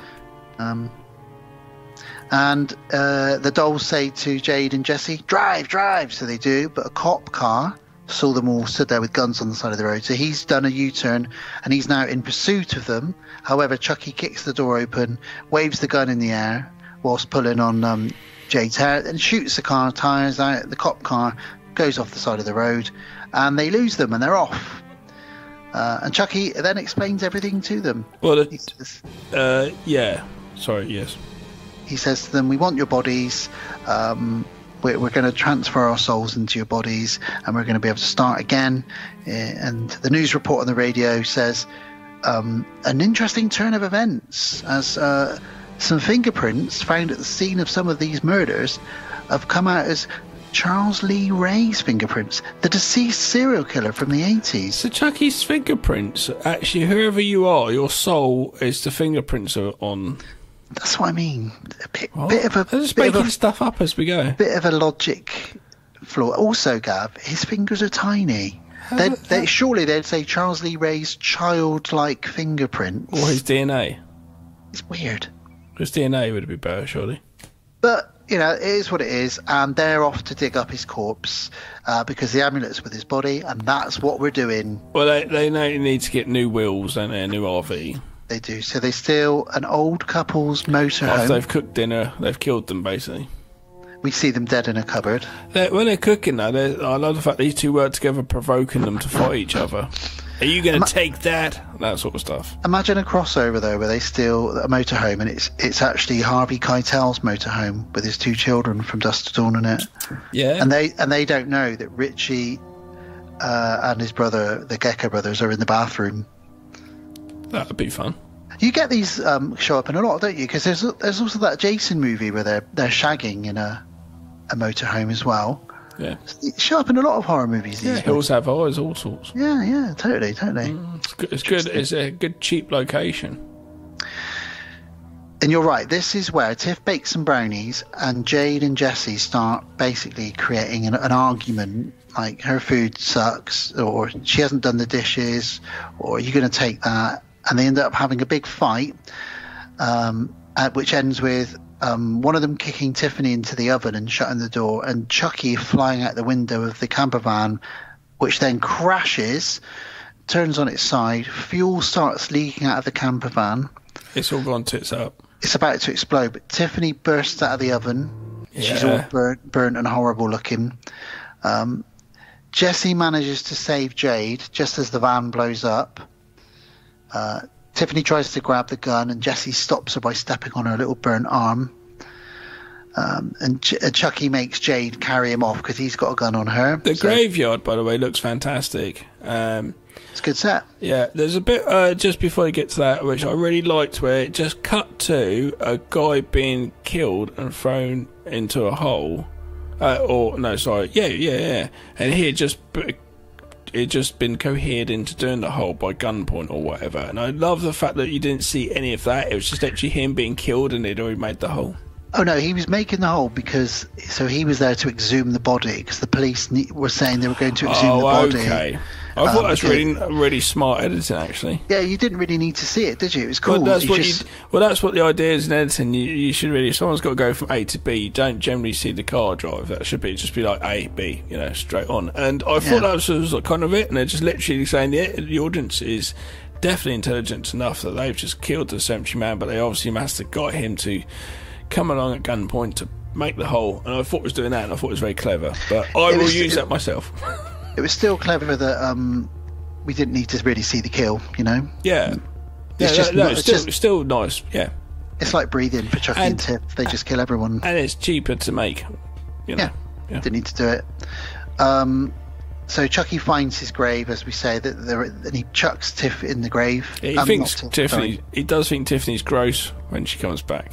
Yeah, he says, "Ugh, you're disgusting." Yeah. Um, he makes um, Jade open the coffin, and there's the skeleton, his skeleton in there, and the amulet's around his neck. And he says, "Oh, sorry, you didn't really need to see Which we this." still don't need know what it's for. It's the MacGuffin, Gav. It's the MacGuffin. She rips the amulet off, which breaks his head off, and he goes, "Ah, bitch, you broke my neck." Um, and then there's a standoff, and they end up swapping Jade for Tiff.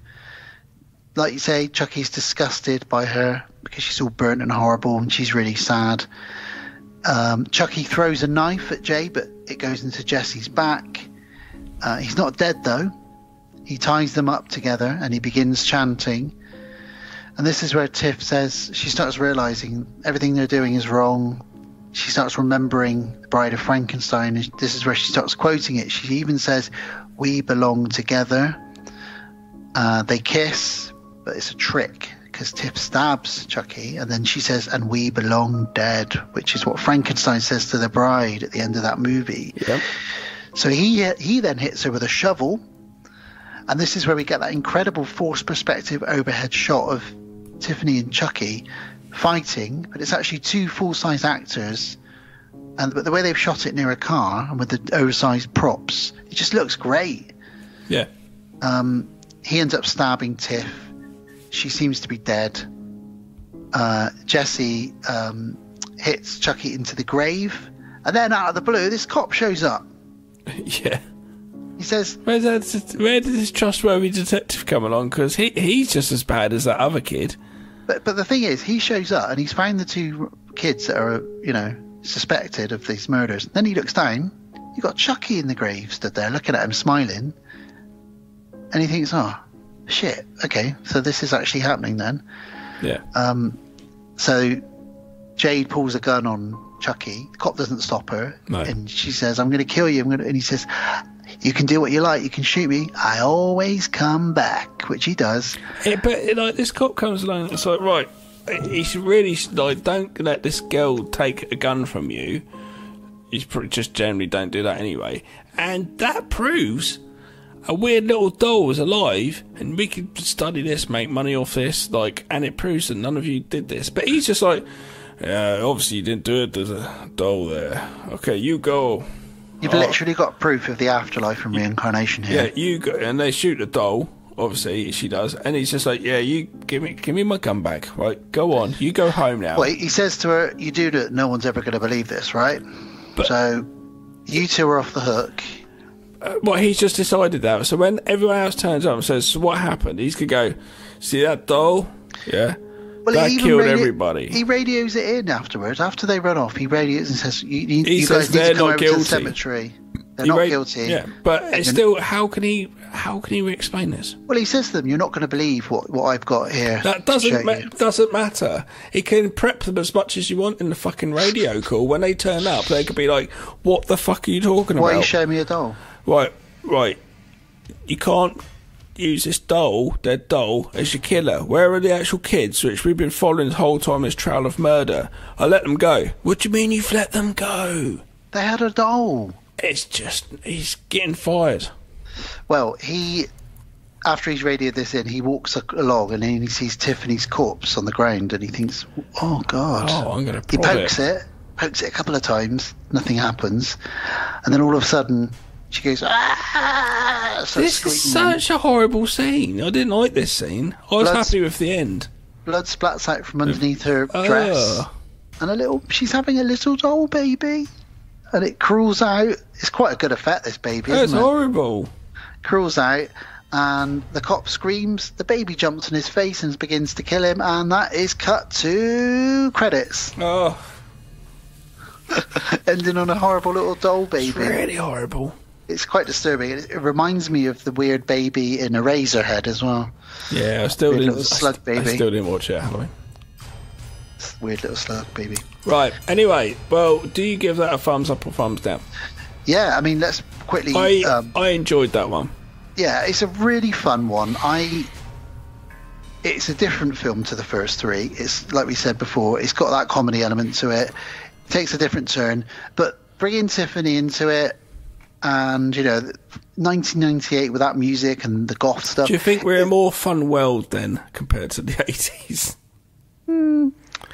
in some ways Different world, I yeah guess. different yeah yeah it's, it's interesting to look at three and four it's only seven years apart and they're very different in style aren't they Yeah, I'm still. Um, I, I don't know. I quite enjoyed this one. Now, does this go over number one for me? No, I think number one still for the moment. I still think number two is the weakest out of the four we've covered. Because it just it was good, but it wasn't I- I, awesome. I can't remember. Three's my favourite, followed by one, then four, then two. Out of the ones we've done, Mm. so so three, one, four, two for me. There we go. But um, that was that was Child's Play three and four. Uh, Yep. Yes, a thumbs up from me, of course. Uh, both both of them. Um, which means when we when we get around to it next time, not not the next episode, but when we get around to it, we'll be taking a look at possibly the weakest in the franchise, Seed of Chucky, from 2004, which was uh, again, uh, which was actually directed by Don Mancini as well as written.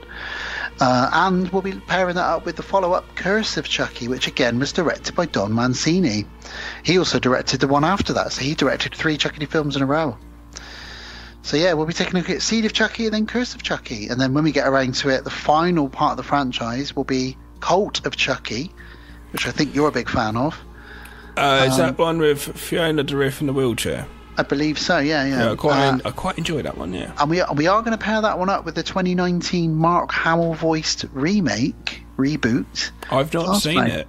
Oh, interesting.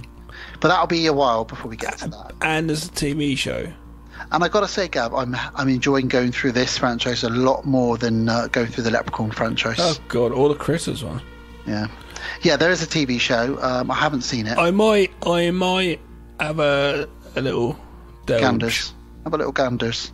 Goosey goosey gander. I might slip into Chucky's first Oh. episode. Are you going to transfer your soul into his hole? There's no whole transferring whatsoever. Right, Bill. No, he's Not not, even Bill. there. Chucky, take that out of there. Bill's gone. Oh, we'll be back in a minute.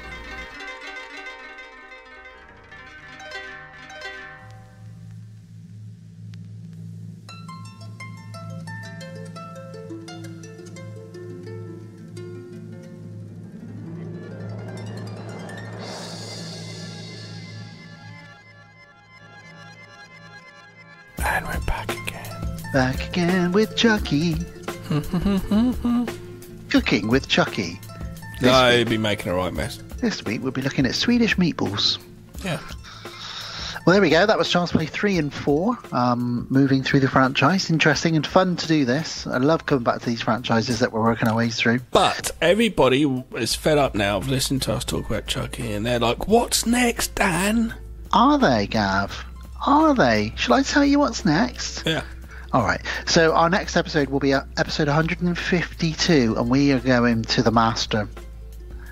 It's a John Carpenter special. Oh, it is, isn't it? Yes, our fourth one in ten years. Uh, we are, we picked one each. So the I've picked 1983's Christine to cover, and you have chosen 1995's In the Mouth of Madness. Which I haven't seen for a while, and I can't wait to And it'll be- an excuse. Our review and it'll be, be lovely.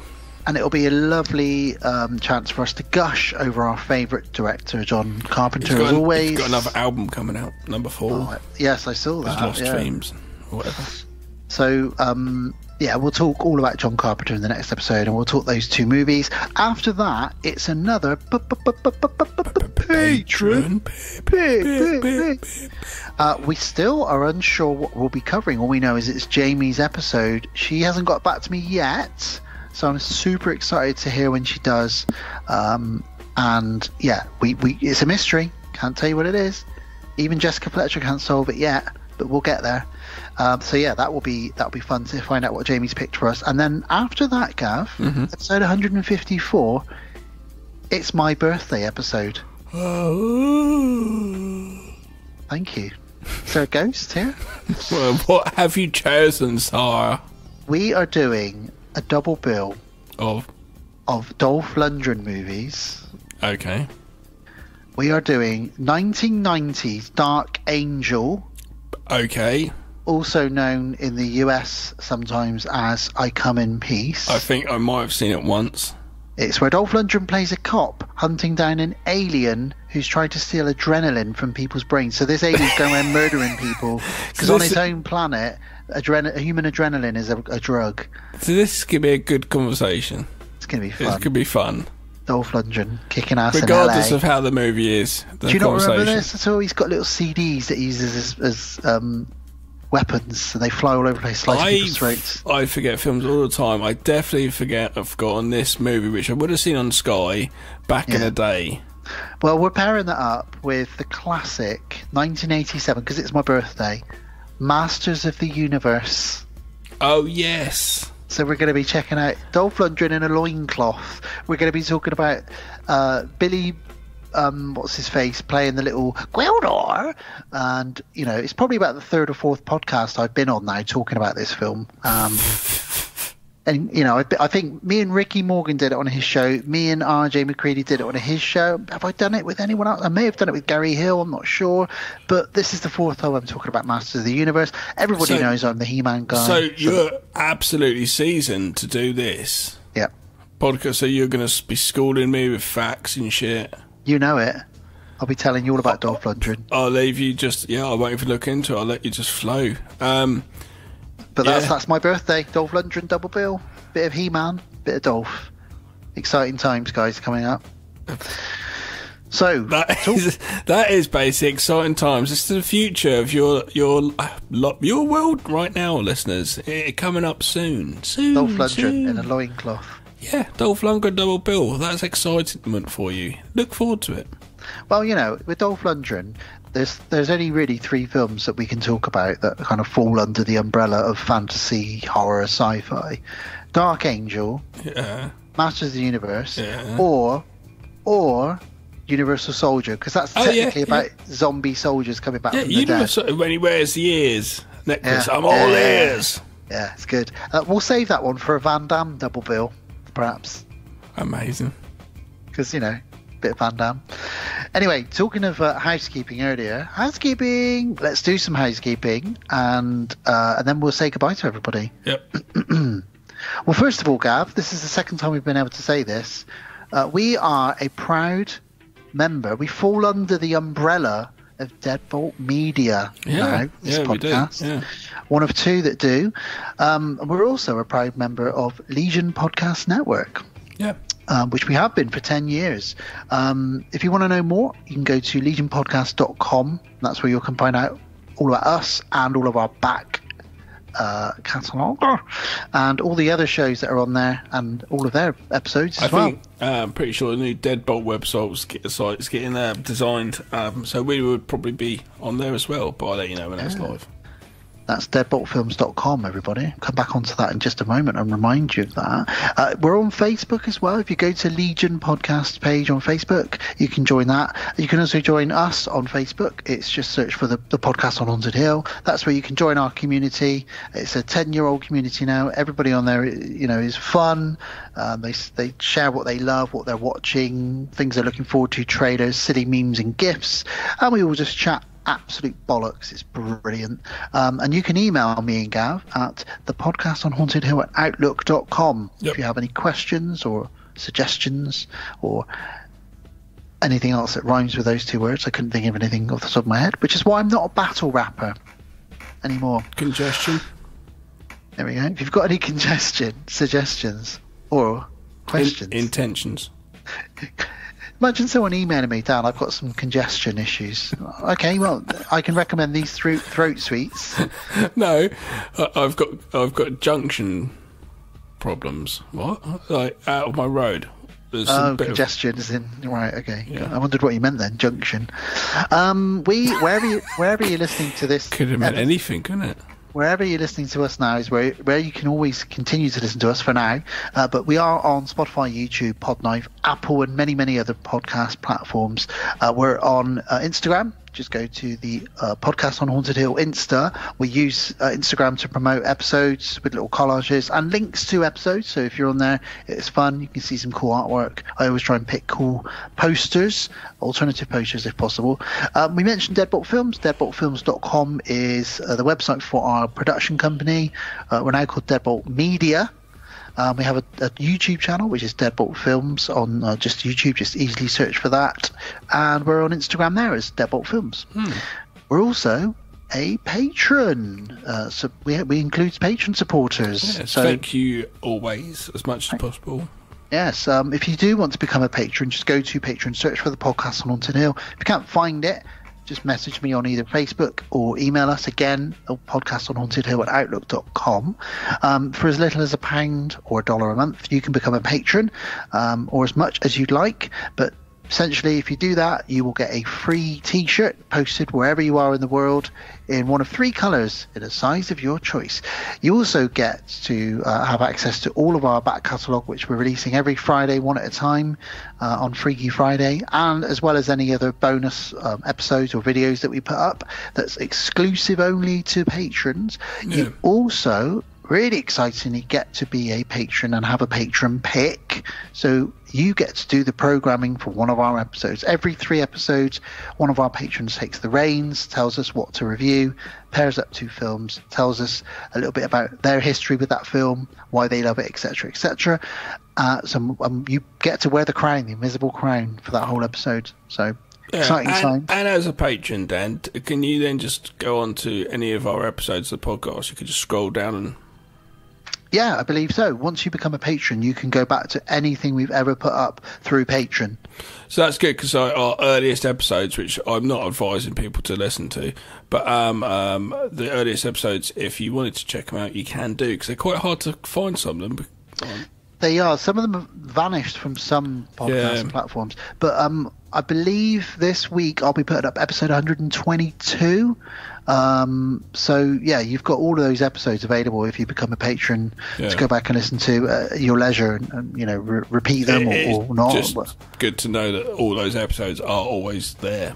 you know? Yeah, because obviously we have the episodes ourselves saved, but yeah, sometimes they vanish from places, or, or you know, some websites you can only put put a certain amount of hours or episodes on there. Yeah. Weirdly, but yeah, so you also get your name read out and thanked at the end of each episode. And we do thank you very much, as Dan, Yes. will, Dan will let you know.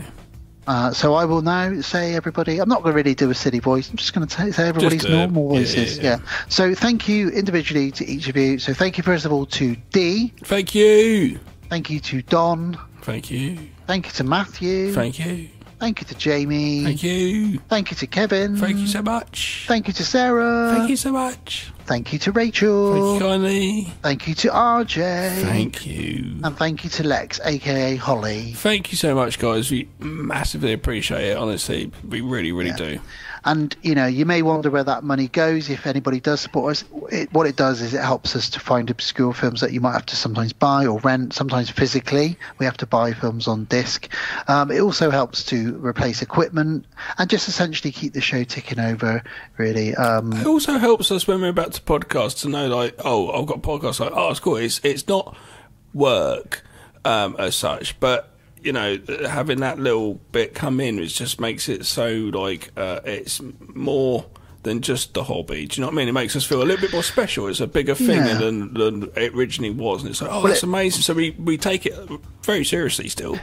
because we have a lot of supporters, but but also we have some supporters like the patrons that really want Yeah, to support which us. really know. listen to it, and it makes us Yeah. feel special. So it makes us it do a better job at recording. Yeah.